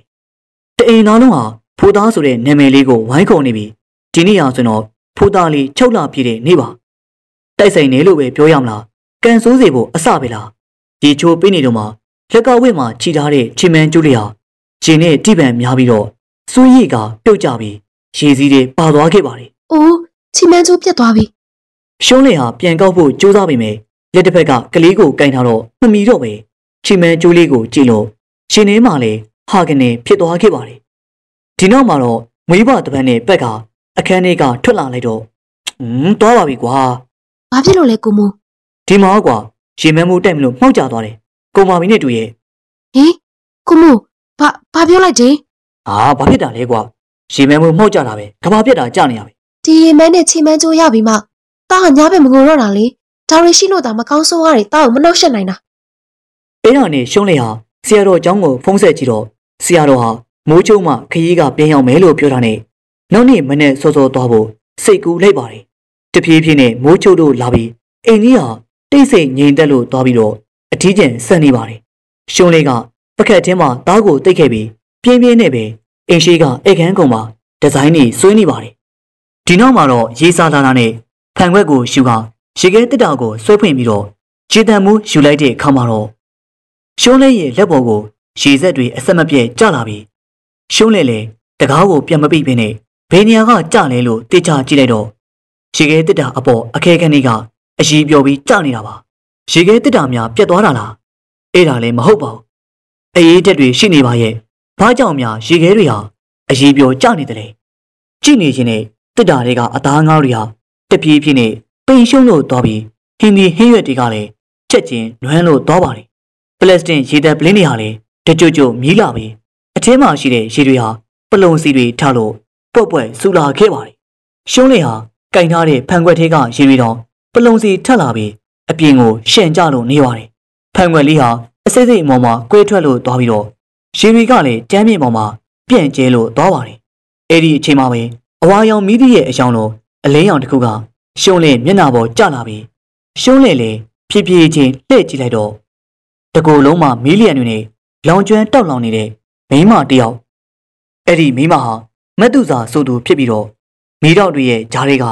ရှုံးတဲ့ကိုစကားတွေပြောနေပါတယ်။ရှင့်သားကိုဂီယိုးဆိုင်ပါ။သူသူတို့တားလေးကိုတတ်ဖို့စူးစမ်းနေကြတယ်။သူတို့သူတို့ဆိုတာဘယ်သူတွေလဲအဲ့ဒီမိန်းမဟာဘာမှပြန်မပြောဘဲလှည့်ထွက်လို့သွားပါတယ်။ဟေးမင်းနေတာပြောသွားအောင်လေ။ဟေးဟေးရှုံးတဲ့ဟာအိပ်ပျော်နေရကလန့်နိုးလို့သွားပြီးအလုတ်လုတ်နေခြင်းနဲ့အိပ်ပျော်သွားဟန်လေရပါတယ် နုံနိုချင်းမှာသားလေးတွေစိတ်ပူသွားပြီးဘေးပညာကိုကြည့်လိုက်တော့လေအကြတန်ကြာရလောက်မတဲ့ချုပ်ကဲတိတ်ဆိတ်လို့နေပါတယ်အဲ့ဒါနဲ့အခန်းစီကိုအမြန်ပြေးသွားလိုက်တော့အခန်းရှိကိုရောက်တော့တကားဟာဘုံကနေပိတ်သွားခဲ့ပါတယ်အထင်းမှလည်းခလေးလေးကငိုးနေပါပြီတကားကိုဆွဲပွင့်ကြည့်တော့ဘယ်လုံးမှဖွင့်လို့မရမကောင်းဆိုးဝါးတွေဟာစတင်နှောက်ယှက်လို့နေပါပြီနောက်ဆုံးမှာတော့ကိုလုံးနဲ့တိုက်ကဖွင့်လိုက်တော့တုံးချက်လောက်အတိုက်မှာတကားဟာပွင့်သွားပြီးတော့ရှုံးလေလေ အရှိန်လုံးကကျမ်းမြင့်ပေါ်လဲကျလို့သွားပါတယ်သူကျသွားတဲ့နေရာမှာပြာမုံနေပလူပြဲနေပြီခင်ငါးချောင်းယာကြီးကကျမ်းမြင့်ပေါ်မှာကြံနေခဲ့ပါတယ်သူ့ရဲ့လက်မှာလည်းပြာမုံနေပေးနေပြီးတော့ပြာမုံနေဟာတခန်းလုံးအပြည့်ပါသားလေးကလည်းစူစူဝါဝါအော်ငုံနေပြီအမုံမွားတွေဟာလေထဲမှာပြက်နေတာကြောင့်မြင်ကွင်းကိုလည်းလက်နဲ့လွှဲလို့ကြည့်နေရပါတယ်ပကက်နားကိုရောက်လာတော့ကျမ်းမြင့်ပေါ်မှာခြေရာတွေတွေ့ရပြီခြေရာက လူတယောက်တည်းရဲ့ခြေရာမဟုတ်ပဲလူတော်တော်များများလာပြီးတော့ရက်နေပုံရပါတယ်သားလေးရဲ့ညာဘက်လက်ကဝင်းမှာမီးလောင်ခင်ရတယ်လို့အညိုမဲဆွေးနေတဲ့ဒဏ်ရာတွေ့ရပြီရှုံးလက်ရဲ့မျက်လုံးထဲမှာပြာဝေလို့လေသွားပါတယ်သားလေးကိုကောက်ကြည့်လိုက်တဲ့အချိန်မှာတော့ဘဲဘက်လက်ကဝင်းမှာလူတယောက်ကလာပြီးကြိုက်နာကြောင်းလက်ငါးကြောင်းရအညိုမဲကြီးသူမှတွေ့ရပြန်ပါတယ်ရှုံးလက်ဟာကြောက်လာတာအရွယ်လေးနဲ့မမျှတဲ့ကလေးကိုဒဏ်ရာအညိုမဲတွေနဲ့ကြည့်ပြီးတော့ရှင်ထဲမှာလည်း စုတ်တက်လို့လာပါတယ်သားလေးကတော့တေးထန်စွာငိုကြွေးနေရင်နဲ့သူ့ရဲ့ညာဘက်လက်ညှိုးလေးကအခန်းထဲရှောက်ထိုးနေပြီးညွန်ပြတဲ့နေရာကိုလိုက်ကြည့်တော့ဘာမှမရှိပါဘူးအဲ့ဒါနဲ့ရောက်ကမအခန်းစီကိုအမြန်ဆုံးကူးလာခဲ့ပါတယ်ဖြစ်ကြောင်းကိုစင်ကိုရှုံးလေးပြောပြလိုက်တဲ့အခါမှာတော့ဒေါ်တင်သိဟာနာယီကိုတစ်ချက်ကြည့်လိုက်တဲ့အခါမှာမမေရင်ကြည့်ပါဦးသားလေးလက်ကိုကြည့်ပါဦးဟင်မင်းလေးဟိုသားလေးဘလို့ဖြစ်ရတာလဲ စိတ်အေးထားစက်မှာသမီးရဲ့ဒီနို့ဒီအိမ်ကြီးတွေကနေအပီထွက်သွားရအောင်မမေလှုပ်ပြပါမေကိုမို့ဖုန်းဆက်ပါအောင်မမေရဲ့ပါဒီညပြတ်မလာဘူးတဲ့ဆော့ဆော့ဖုန်းဆက်တယ်သမီးရဲ့အလုပ်တွေများနေလို့သားစတူဒီယိုမှာပဲအိတ်တော့မယ်လို့ပြောသွားတယ်မမေသမီးတို့ဘာလုပ်ကြမလဲอืมအချိန်က၈နာရီခွဲပဲရှိသေးတယ်မမေဆရာတော်စီဖုန်းဆက်ကြည့်အောင်မေဒေါ်တင်တင်ဖုန်းသွားဆက်တော့ရှုံးလေလေတယောက်တည်းပဲမနေရတာနဲ့လိုက်လာခဲ့ပါတယ်ဖုန်းပြောလို့အပြီးမှာတော့ ဖုန်းဖုန်းပြန်ရောက်ပြီတဲ့သမီးလာဖုန်းကြီးကြောင့်အမြင်သွားရအောင်အဲ့ဒီလိုနဲ့ခြံတကားတွေကိုပိတ်တော့ခက်လိုက်ပြီးခြံမြင်ကိုရောက်တော့တက်စီတစ်စီးကိုတွေ့တာနဲ့လှမ်းပြီးတားကဘုံကြီးကျောင်းရှိရာ၆တက်ကြီးပဲထွက်လာခဲ့ပါတယ်။မိပိုင်ကိုရောက်တော့ကားလန်းကျော်ဟာကြက်သက်ပိတ်သိမ့်နေပြီးတစီတန်းကြီးဖြစ်နေပါတယ်။ကားမောင်းစားရတာလည်းမလွယ်ဘူးဗျ။ကားလန်းတွေဒီလောက်ပိတ်နေတာဘယ်လိုလုပ်ကြမလဲ။မြင်မြန်မောင်းမှာကွာမင်းကြီးပြန်မိနေအောင်မယ်ရပါတယ်ရှင်ကျမတို့အမြင်မလိုပါဘူး။ ခင်ဗျားတို့အရင်မလို့တာအရင်မကြည့်ဘူးဗျ။ကျုပ်တို့ကနေတွေမကြိုက်သေးဘူး။ကျုပ်တို့အတွက်ကတော့အဲ့ဒီအချိန်တွေပဲအသက်ရှင်နေရတာဗျ။ကဲပါသမီးရဲ့ခလေးနိုးသွားပါအောင်မေဒီမီးပွင့်ရလေကွာအရေးထဲမှာကြားလိုက်တာမီးစိမ့်နဲ့ခလုံးများပိတ်ထားလားမသိပါဘူးအဲ့ဒီအချိန်မှာတားငယ်လေးဟာအုံငိုလိုက်တဲ့အခါမှာတာဘာဖြစ်လို့ငိုတာလဲမငိုပါနဲ့သားရဲ့ခလေးကတော်တော်ဆိုးတာပဲဗျနားကြီးလိုက်တာရှင်ပါပြောတယ်အခုကားရက်လိုက်ကားရက်လိုက်ဟာဒါလေကျုပ်တွေကောင်းတာပဲ ကားက2500အပြည့်ပေးရမယ်နော်ရှုံးတဲ့ဘက်ကိုလှည့်လာပြီးပြောလာတဲ့ကာသမားရဲ့မျက်နှာหนีရဲနေပြီကာသမားဟာအရက်တောက်တဟန်တူပါတယ်စပြီးငါတို့ကမှောင်နေတာကြောင့်သူမတို့တွေသတိမထားမိတာပါသမီးသမီးဘာလုပ်မလို့လဲသမီးနောက်တကားပြောင်းစီလိုက်တော့မယ်အမေဒီကားတော့ဆက်မစည်းချင်တော့ဘူးမစည်းပါနဲ့ရပါတယ်စိတ်ညပါကားကလည်းပြီးခဲ့ရှုံးလေဟာ9000တောင်နဲ့ထုတ်ပေးလိုက်တဲ့အခါမှာပြန်လဲပြုံပတ်စံမရှိဘူးအဲ့ဒါပဲပါတယ်မအန်းနိုင်မရှူနဲ့တော့ ဒေါ်တင်းတင်းတယောက်ကားပြင်ကိုထွက်လိုက်တဲ့အခါမှာကားကလမ်းမလင်မှာရပ်ထားခြင်းကိုအပြင်ရောက်မှတိလိုက်ပါတယ်ဟဲ့ဟဲ့ကားကိုဘာလို့လမ်းလိမ်မှာရက်ထားရတာလဲကားတွေကရှက်ထားတဲ့သူတို့ကားလေးကိုကွေ့ပဲရှောင်သွားပြီးတားလေးကကားပြင်ရောက်တာနဲ့ရုံးရင်းဆန်ကတွန်းတို့ကဒေါ်တင်းတင်းလက်ထဲကနေရှုံးလက်စီကိုလာခြင်းနဲ့ပုံစံနဲ့လက်ကမ်းလို့ပြီးနေပါတယ်မမေရင်အကျွေ2500လောက်ပါလားသမီးရင်ဟိုသားလေးကသမီးစီလာခြင်းလို့တဲ့ခဏခေါ်ထောင်းမမေပတ်စံထုတ်လိုက်အောင်မေ ရှုံးလင်းနဲ့ကားသမားတို့ကိစ္စမပြီးသေးခင်မှာအမအကျွေ2500လောက်ပါသေးလားကလေးကိုရှုံးလက်လက်ထဲထည့်လို့ပြီးမှတော့ဒေါ်တင်းတင်းဟာပတ်စံစစ်ကိုဖွင့်လိုက်ပါတယ်ကားထဲရောက်သွားတဲ့တားငယ်ကလည်းသူ့ရဲ့ဖွားကိုကြည့်ပြီးတော့လက်ညှိုးထုတ်ကအုံငုံနေပြန်တယ်တစ်ချိန်လေးမှာကားပြင်မှာမတ်တဲ့ရက်နေတဲ့ဒေါ်တင်းတင်းကိုအရှိန်နဲ့မောင်းနေလာတဲ့ကားတစ်စီးဟာဖြက်တိုက်လို့သွားပါတယ်ဘယ်နည်းနဲ့မှထင်မှတ်မထားတဲ့အဖြစ်ကြောင့်မယုံကြည်နိုင်ဖွယ်ရာဖြစ်ပြက်လို့လေသွားပါတယ်ဒေါ်တင်းတင်းရဲ့အာသူဘချပြီးသွားတဲ့အခါမှာ အိမ်ကြီးဟာပုံမူချောက်ကဲ့သွားပြီးတော့မိုးညိုအလုတ်သွားပြီးဆိုရင်သူသူတို့သားမိပဲကြံခဲ့တာပါကျွန်းလေးကတော့မနေ့ပိုင်းအိမ်မှုကိစ္စတွေပြီးတာကြောင့်ခဏနားနေရင်အိပ်ပျော်လို့သွားပါတယ်မြူရီအုံဆိုင်နေတဲ့ပဝန်းကျင်အတက်တခုတည်းရှုံးနဲ့ရောက်သွားပြီးတော့မြူကိုရီရဲ့ဂျာကလူနေရောက်ထွက်လာပါတယ်အဖေတို့လည်းတမီးကိုဘယ်ခွဲကျင်မလဲကွယ်တမီးနဲ့ခွဲခဲ့ရတာအဓိကအကြောင်းရင်းသိစေချင်လို့ဖေဖေလာပြောပြတာရှုံးတဲ့ဖေဟာအဝေးတနေရာကိုလက်ညှိုးထုတ်ပြလိုက်ပြီး ဟီနိုကာကြီးတစ်စီးကခရီးတဲ့အပြည့်တင်လို့တအေးအေးနဲ့မောင်းနေလာတာကိုရုပ်ရှင်ပြောက်ွက်တယ်လို့မြင်နေရပါတယ်တနက်တန်တွေစူညံလို့သွားပြီးကာကြီးကလည်းထိုးရက်လို့သွားပါတယ်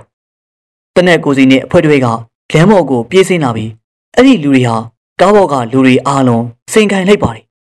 ဒီထဲမှာတော့ရှုံးလဲရဲ့အဖေနဲ့အမေလည်းပါပါတယ်အဖေဟာအထုပ်လေးတစ်ထုပ်ကိုရှင်မပိုက်အမေလက်ကိုဆွဲကာကားအောက်ကိုဆင်းလာပြီးထွက်ပြေးလိုက်ပါတယ် အဲ့ဒီအချိန်မှာတော့တနက်တန်တွေစူညံလို့သွားပြီးမိဘနှစ်ပါးစလုံးလမ်းပေါ်မှာတင်လဲကျလို့သွားပါတယ်အဲ့ဒီအခါမှာတော့တနက်ထမ်းပြီးထွက်လာသူကအဖွေရဲ့ခေါင်းဆောင်ဖြစ်ဟန်တူတဲ့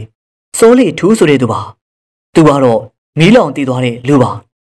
လင်မယားနှစ်ယောက်ရဲ့ဝိညာဉ်ကိုရှုံးလဲပဲကယ်ပေးခဲ့တာဒါတော့ဒီလူကရှုံးလဲကလေးဖြစ်နေပြန်ပြီးတော့ဝင်စားကျင်နေသေးတယ်ရှုံးလဲတာမိဘတွေကိုတက်ခဲ့မယ်သိရင်တော့အဲ့ဒီလူအသက်ရှင်နေသေးပါက ရှုံးလဲကိုယ်တိုင်ဓာတ်နဲ့ခုတ်သက်ပြစ်မယ်လို့တွေးမိပါတယ်မငိုပါနဲ့တမီးရဲ့အဖေနဲ့အမေကတော့မေတ္တာရှိထားပါတယ်တမီးတို့မိသားစုလေးတာယာတဲ့ဘဝကိုရှောက်လန်းနိုင်ပါစေလို့ဖိဖိဆူတောင်းပေးပါတယ်ကွယ်အိမ်မက်ကလန်နိုးလာတော့ရှုံးလေးဟာငိုလို့မပြီးနိုင်နေပဲခေါင်းလောင်တီးတန်ကြားတာနဲ့မျက်ရည်တွေကိုတော့သွားဖွင့်ကြည့်လိုက်တော့ဝိရည်ပါဟင်ရှောင်းမဘာလို့ငိုနေရလဲမမေကိုတတိယလို့ပါဒီနေ့သူ့စေကိုမှအလူလောက်ထားတယ် သူ့မွေးနေလေအဲ့ဒါရှုံးလေးတို့တာမီနှစ်ယောက်ကိုလာခေါ်တာလိုက်မယ်မဟုတ်လားလိုက်ခင်မယ်လေ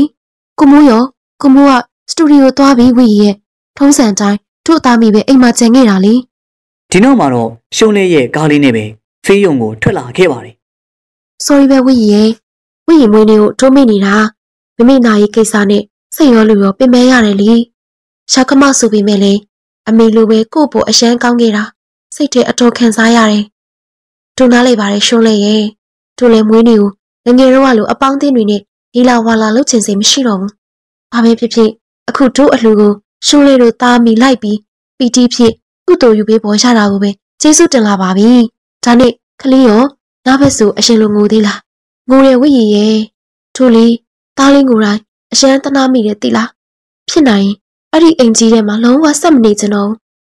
ဘူးမိမိအတွက်ကိုမိုးအရန်ခံစားနေရတယ်ဆိုတာသိတော့ ပြောမထွက်လို့သာတို့လေအိမ်ရင်းတွေအရှမ်းပြက်လို့အမြဲခေါင်းကိုက်နေတာပဲဘာကျွေးမှလဲဝီကြီးတမင်မဲ့ကျွေးမယ်ရှုံးလိုက်ဒီကအဖွဲတွေအားလုံးစီစဉ်ထားလိုက်မယ်ဝိရည်ရောက်ပြီဆိုတာနဲ့စေယုံကဝန်ထမ်းတွေဟာလူနာတွေကိုထမင်းကျွေးဖို့ပြင်းလိုက်ပြီးအနောက်ရှက်ဖြစ်စေနိုင်တဲ့ဝေဒနာပြင်းထန်တဲ့လူနာကလွဲပြီးတော့ကျန်တဲ့လူနာအားလုံးကိုအပြင်ထုတ်ကထမင်းကျွေးဖို့ပြင်လိုက်ပါတယ်အလူရှင်ဒေါက်တာဝိရည်ချုပ်ကိုဆူတောင်းမြစ်တာပို့တာတန်တွေဘလုံးပတွေကြားလိုက်တဲ့အချိန်မှာပီတီဖြစ်ရသူကရှုံးလဲပါ ကိုဘတာမစားတတ်တဲ့လူနာတွေကိုဝန်ထမ်းတွေကထမင်းခွန်ကျွေးနေပါတယ်လူနာတယောက်ဟာကောင်းကြီးငိုက်စိတ်ချပါဇက်ဟာပါဇက်ဟာဆိုပြီးနှုတ်ကုန်းတုံခုံပြောမှဟာပေးတက်ပြီးဝါလို့ပြောမှဝါစားပြီးတော့မြို့ချလို့ပြောမှမြို့ချတတ်ပါတယ်ရှုံးလေးဟာတားလေးကိုချီကအခန်းဝနားမှာရက်ကြည့်လိုက်တော့အဲ့ဒီလူနာကရှုံးတဲ့လက်ထဲကတားငယ်လေးကိုမောကြည့်လိုက်ပြီးဒီနောက်မှာတော့အဲ့ဒီလူနာဟာထမင်းမစားတော့ပဲတယောက်ပြီးတယောက်တားလေးစီကိုကြည့်နေပါတယ် ခမ်းမကြီးတစ်ခုလုံးချက်ချင်းတိတ်ဆိတ်လို့သွားပြီးတော့အားလုံးလည်းရှေ့မှာရှိတဲ့ပကံလေးကိုမှောက်လိုက်ပြီးတားလေးစီကိုလက်ညှိုးထိုးပြီးတော့ကြောက်လန့်နေကြអော်နေကြပါတယ်ဒီခါမှာရှုံးလေနောက်ကမြူကွင်းငွေတွေရှုပ်တရက်ဖြက်တန်းလို့သွားပါတယ်ရှုံးလေတို့သားမိဟိုကန်တွေကထွက်သွားတဲ့အခါမှာခုနတုန်းကကဘာပြက်တယ်လို့စူညမ်းနေတဲ့လူနာတွေဟာဘာမှမဖြစ်ခဲ့တယ်လို့နဲ့ပြန်လေညင်တက်လို့သွားပြန်ပါတယ်မိုးညိုနိုးလာတော့အိပ်ရာပေါ်မှာရှုံးလေမရှိတော့ပဲ ဈေးသွားတာနဲ့တူတယ်လို့စိတ်သေးကတွေးရင်နဲ့ညကသူ့မိုးချုံမှပြန်ရောက်လာပြီးကိုဘကိုတကားဖွင့်ဝင်ခဲ့ရတဲ့အဖြစ်ကိုပြန်လေတွေးနေမိပါတယ်မျက်နှာတိလို့ပြီးမှဓမင်းစားစပွဲကုံမကရှုံးလေဖြောထားတဲ့ကော်ဖီကိုတောက်နေတော့သားလေးရဲ့ငိုတန်နဲ့တူသူတို့ရဲ့အခန်းထဲကစကားပြောတဲ့နေကိုကြားလိုက်ပြီးမိုးညိုဟာအခန်းစီကိုပြေးလာတော့သားလေးပကက်ကလွှဲနေပြီးလူကတော့ဘယ်သူမှမရှိပါဘူးအဲ့ဒီအချိန်မှာသားလေးကသူ့ဘက်ကိုလှည့်လာပြီးမိုးညိုတွေ့လိုက်တာက တည်သွားတဲ့သူ့ရဲ့ဦးလေးစိုးလီထူရဲ့မျက်နှာပါမိုးညိုဟာကြောက်လန့်နေကြတဲ့ဖေတံရက်သာလဲကျလို့သွားပြီးတကန်းလုံးမှာမိကိုငွေတွေအုံဆိုင်လို့လာပါတယ်လဲကျသွားရလူလေထကြည့်လိုက်တော့ပကက်ရဲ့ဘေးပပက်လေးမှာရက်နေတဲ့လူကိုတွေ့ရပြီအဲ့ဒီလူတွေအားလုံးကပေါတူဂောပြဒဇင်းတွေကိုကန်လို့ပကက်သေးကသားလေးကိုငုံကြည့်နေလိုက်ပါတယ်သားလေးအတွက်မွန်းညိုစိတ်ပူသွားပြီးကြောက်ရွံ့တွေလိုရက်နေတဲ့လူတွေကိုဆွဲပယ်ဖို့ ပကုံးကိုကန်လိုက်တော့လျှက်စီခရရတယ်လို့အမြင်အာယုံတွေဝေပါလို့သွားကမုံညိုမြင်နေရတဲ့မြင်ကွင်းတစ်ခုလုံးပြောင်းလဲလို့သွားပါတယ်စိမ့်လန်းနေတဲ့လေကွင်းမြင်ကိုလေတော့တော့တိုက်လိုက်ခြင်းမှာတနက်တန်တွေကြားရပြီးတော့ရွာသားတယောက်လေကွင်းလေးကိုပြစ်လဲလို့သွားပါတယ်အဲ့ဒီရွာသားထွက်ပြေးသွားတာကြောင့်လှမ်းပြီးပြစ်လိုက်ဟန်တူပြီးတော့ခက်လန်းလန်းကလေဝင်းမြင်မှာလက်နောက်ပြန်ကျိုးတုပ်ထားတဲ့ရွာသားတွေရွာသားတွေရဲ့ရှေ့မှာတော့တနက်တာရှိပြီးဘသူမှလူမထင်တဲ့အုပ်စုတစု အဲ့ဒီအုပ်စုကိုဥဆောင်သူကသူ့ရဲ့ဦးလေးလက်နက်ကင်တောင်းကျန်းသူစောလီထူပါမင်းတို့လိုလေပဲထုံနေတဲ့ကောင်တွေကငါတို့ကိုအာခံရေးတယ်ပေါ့မင်းတို့အစိုးရကလေတွေတိမ့်တာကြတော့ခေါင်းကိုခနေငါတို့တွေစက်ကြီးကောက်တာကြတော့မပေးတယ်ပြင်ငါတို့ရဲဘော်ကိုလည်းဓာတ်နဲ့ခုတ်တဲ့ရဲတော်တော်တက်တီကောင်းနေကောင်းနေပဲကွာဟဲ့ကောင်နေငါတို့ရဲဘော်တယောက်အသက်တစ်ချောင်းပြရရင်ဒီကောင်လေးရဲ့အသက်အားလုံးပြန်ယူပြရမယ်ကွာအချက်ပြလိုက်တာနဲ့ အဖွေသားအားလုံးဟာတက်စီဘုံနေကိုင်းကျိုးတို့ခံရရတဲ့ယာသားတွေရဲ့ခေါင်းမောက်ကိုလောင်ချလိုက်ပါတယ်ကဲမင်းတို့တွေဘာလို့တောင်းနေနေလဲအဲ့ဒီခါမှာယာသားတယောက်ကမင်းကိုပြန်ပြီးတက်ရပါလို့ဤ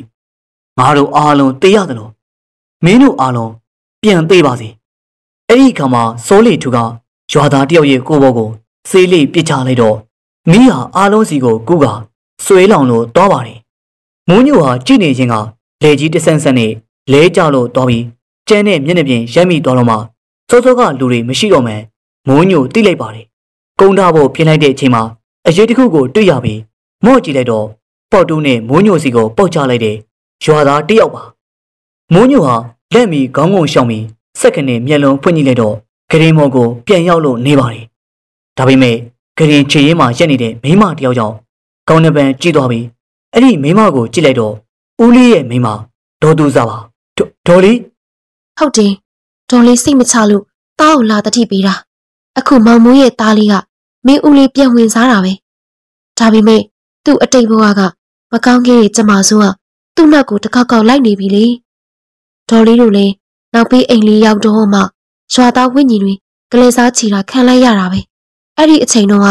ဒေါ်လေးနောက်ဖေးမှာထမင်းချက်နေတော့မင်းဦးလေးနောက်ဖေးခန်းနေရောက်လာတဲ့အချိန်မှာဖြစ်တာ အလိုလိုနေမိကိုငွေတွေနောက်ဖေးခန်းနဲ့ပြည့်နေသွားတယ်အဲ့ဒီအချိန်မှာပဲမိလုံးကြီးတစ်လုံးနောက်ဖေးခန်းနဲ့တိုးဝင်လာပြီးဒေါ်လေးတို့နှစ်ယောက်ကိုဆွဲလောင်တော့တာပါပဲ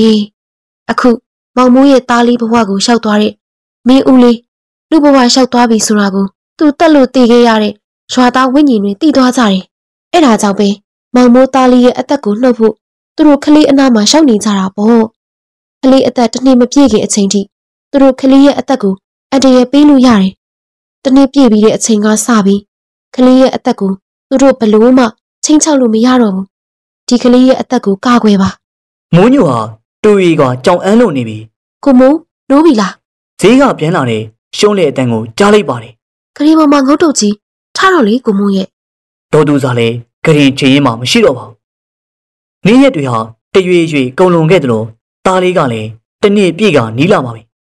17လသာရှိပြီဖြစ်ပေမယ့်ညတိုင်းငုံနေစေဖြစ်ပြီးအကြောက်လန့်တွေကြောင့်မိုးညိုဟာကလေးအနာကတပွားမှမခွာနိုင်ခဲ့ပါဘူးအလုံးမသွားတဲ့ရက်တွေမရေမတွက်နိုင်ပေဒါကိုကြည့်ကရှုံးလက်တယောက်ပီတီဖြစ်မိပါတယ်မိုးညိုဟာကြာကြာလျှို့ဝှက်မထားချင်တာနဲ့ဖြစ်ကြောင်းကုံစင်ကိုရှုံးလက်ကိုပြောပြလိုက်ပြီးတော့ကိုမိဘောက်ကိုတတ်ခဲ့တဲ့လူဟာကိုဝမ်းနဲ့လွယ်ပြီးမွေးရမယ်ခလီမန်ရှုံးလက်တကားမှမတွေးမိပါဘူးတားလေတင်းနေပြဖို့တလားသာလိုတဲ့အချိန်မှာတားလေးကိုသူတို့လင်မယားလေး ပုံမောဂရုစိုက်ပြီးမုံညိုရဲ့အမေစုံမီတွေကမရောက်ဖြစ်တဲ့ဆရာတော်စီကိုသူတို့တွေတွားခဲ့ပါတယ်။အရှင်ဘုရားမှာတဲ့အတိုင်းတပည့်တော်တို့လည်းကလေးကိုဂရုစိုက်ပါတယ်ဗျာ။အခုဆိုရင်၁၇လရှိပါပြီဗျာ။ဩအင်းမှတ်မိပြီကွယ်။တကားကြီးတကားမကြီးလေးမပါပါလားကွယ်။သုံးသွားပါပြီဗျာ။อืมအနေစအနေစဘယ်အရာမှမမြဲဘူးကွယ်။လူတွေဟာမမြဲတဲ့တရားကိုမြဲတယ်လို့ထင်တယ်။လောဘဒေါသ မောဟတွေနဲ့ပြည့်နေတာကိုကွယ်။ကလေးရဲ့အတီးဘွားကကံတွေဟာအခုဘဝတည်လိုက်ပြီးအကျိုးပေးနေတာ။သူပြုတ်ခဲ့တဲ့ကံကသူသူ့နောက်လိုက်ပြီးအကျိုးပေးနေတဲ့သဘောပေါ့ကွအကျိုးပေးကလည်းစမ်းညက်လွန်းလာတယ်ကွယ်အတီးဘွားတွေကကောင်းတဲ့ကန်လေးတွေဟာကာထားပြီးတော့သာအခုချိန်ဒီအသက်ရှင်နေတာကွอืมဒါပေမဲ့မကောင်းတဲ့ကန်တွေအကျိုးပေးလာရင်တော့ခံရမှာပေါ့အကုသို့ကန်တွေကလည်းလာပြီးဆိုရင်စက်တိုက်ဆိုသလိုအုံနဲ့ချင်းနဲ့လာတာကို ဒီကလေးရဲ့အတိတ်ကံကိုကြည့်မဲဆိုရင်လူပြန်ဖြစ်ရတာအရန်ကိုစိုးလွန်းနေလူဘဝကိုရောက်ချိန်မတန်သေးပဲနဲ့ရောက်လာတဲ့သဘောပေါ်ကွယ်အရှင်ဘုရားဒါဆိုသားလေးရဲ့အတိတ်ဘဝကအကုသိုလ်တွေအရန်ကိုကျင်းနေမှာပေါ့အတိတ်ဘဝကဘာတွေများလုပ်ခဲ့မိလဲမသိပါဘူးဗျာอืมဒါကအရေးမကြီးပါဘူးကွမြင့်မြတ်တဲ့ကံဂုံအင်္ဂါနဲ့မွေးလာတဲ့ကလေးဟာမြင့်မြတ်ခြင်းတီးခံခြင်းကောင်းမြတ်ခြင်းဂုံအင်္ဂါတွေနဲ့ပဲနေထိုင်သွားရမယ် တကယ်လို့အာဟုသို့တရားနဲ့မွေးလာတဲ့ကလေးဟာအဲ့ဒီအာဟုသို့အထုပ်တွေနဲ့ပဲတက်တက်လုံးနေထိုင်သွားရမယ်ကွဒီဒီတော့တကာနဲ့တကာမလို့အကောင်းဆုံးလုပ်တင်တာကကလေးအသက်မသေးအောင်စောင့်ရှောက်ဖို့ပေါ့ကွယ်အေးဒီတော့ဟောဒီကဘာမြေပြင်ပေါ်ကကလေးရဲ့ဝိညာဉ်ထမသွားစီဖို့ပထမဆုံးမွေးနေ့မရောက်ခင်အချိန်ထိတော့ကာဝယ်ပေးကြပေါ့အရှင်ဗျာဒီရက်တွင်းမှာတားလေးတစ်ခုခုဖြစ်တပည့်တော်တို့ဘယ်လိုလုပ်ရမလဲဗျာ မိဘတွေဘက်ကဒီလောက်တောင်လိုက်ပြီးတော့စောင့်ရှောက်နေပြီပဲကွယ်ဒါကတော့ဟောဒီကလေးရဲ့ကံကြမ္မာပေါ့ဘုန်းကြီးတို့လည်းဘာမှမတက်နိုင်ဘူးကွဒုတိယရဲ့အာဟုသောတရားတွေကိုဘယ်သူကမှပယ်ဖြတ်မပေးနိုင်ဘူးอืมကလေးရဲ့ပထမဆုံးမွေးနေ့ကတော့နီးကက်လာပြီကွယ်ဆရာတော်ဟာကလေးကိုကျမ်းမြေမော်ချသင်ငန်းတတဲလွှမ်းကြုံပေးပြီးပရေရွတ်ပေးပြီးတော့မိုးညိုရှိမှရှည်စဲခွဲချခင်းပါတယ်အမြဝေခိုင်းပြီးမိုးညိုနဲ့ရှွန်းလဲလို့ ရှည်စဲချနေတဲ့အချိန်မှာစိုးလီထူရက်ဆက်စွာတက်ခဲ့တဲ့လူတွေကအာယုံထဲမှာမြင်အောင်လို့လာပြီးအမြပေးဝေလိုက်တော့အာလုံးပျောက်ကွယ်လို့သွားပါတယ်ဘုန်းကြီးเจ้าကပြန်ဟာမိုးညိုဖုံးမိတန်ကြားတာနဲ့ကောက်ကင်လိုက်တဲ့အခါမှာဟောငါမလာနိုင်တော့ကမင်းတို့ကသာလှုပ်ထားလိုက်တော့ဟောအေးဒါဆိုလေအဲ့ဒီကိစ္စကိုဒီနေ့ပြီးလုပ်ပေးမယ်တည့်ရပင်တော့ရအောင်နောက်နေ့တွေကိုယ့်ဘာသာလှုပ်ကြတော့ကွာ သွားရအောင်မလားကိုမိုးရဲ့ ကဲကလေးကိုကျူးဆိုင်တာရှုံးလိုက်ရှုံးလေးတို့တာမီပို့ပြီးတာနဲ့ ကိုစတူဒီယိုခဏသွားလိုက်အောင်မယ်သူတို့ကိစ္စအားလုံးဖျက်ပေးလိုက်မယ်ကွာသိမကြအောင်နော်ကိုမိုးကောင်းလေးသတိထားမအောင်နော်ရှုံးလေးတို့သားမီတို့စိတ်မပူနဲ့အရင်လဲဒီလိုပဲနေလာတာဘလောက်တောင်ကြာပြီလဲပြီးတော့သားလေးကြည့်ရတာလန်လန်ဆန်းဆန်းပဲဒီနေ့မငိုတာပဲကြည့်ပါလားအဲ့မှာကိုမိုးအမြန်ပြန်လာခဲ့မယ်နော်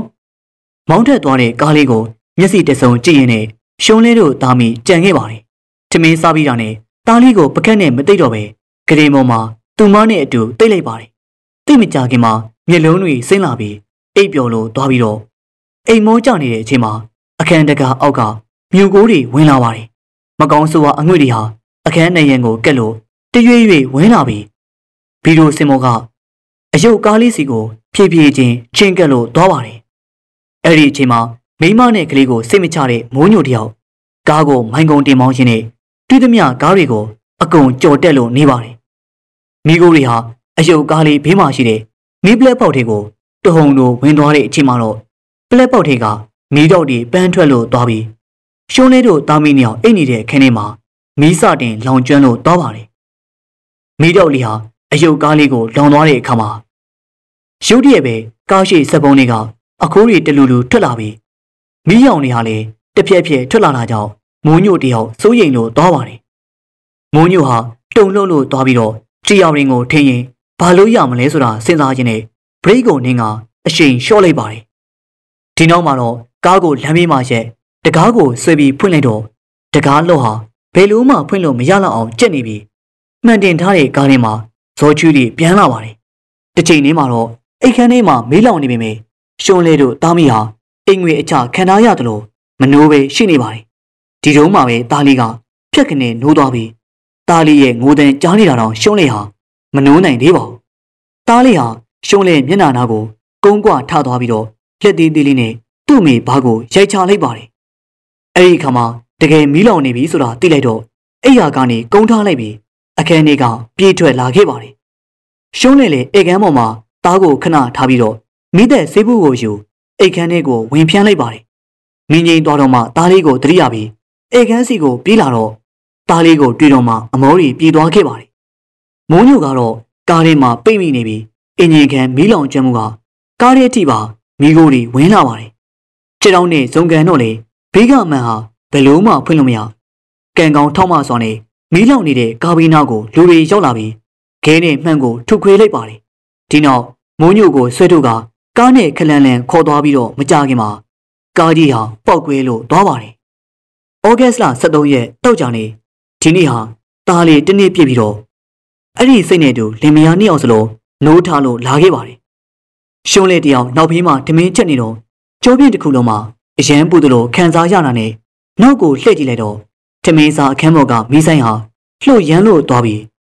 ဒေါ်တင်တဲ့အခန်းထဲမှာရှိတဲ့စာကြည့်စပွဲကမိသည့်အဝါလေးကလည်းဘယ်သူမှမဖွင့်ပါဘဲနဲ့ဖြည်းဖြည်းချင်းလင်းလာပါတယ်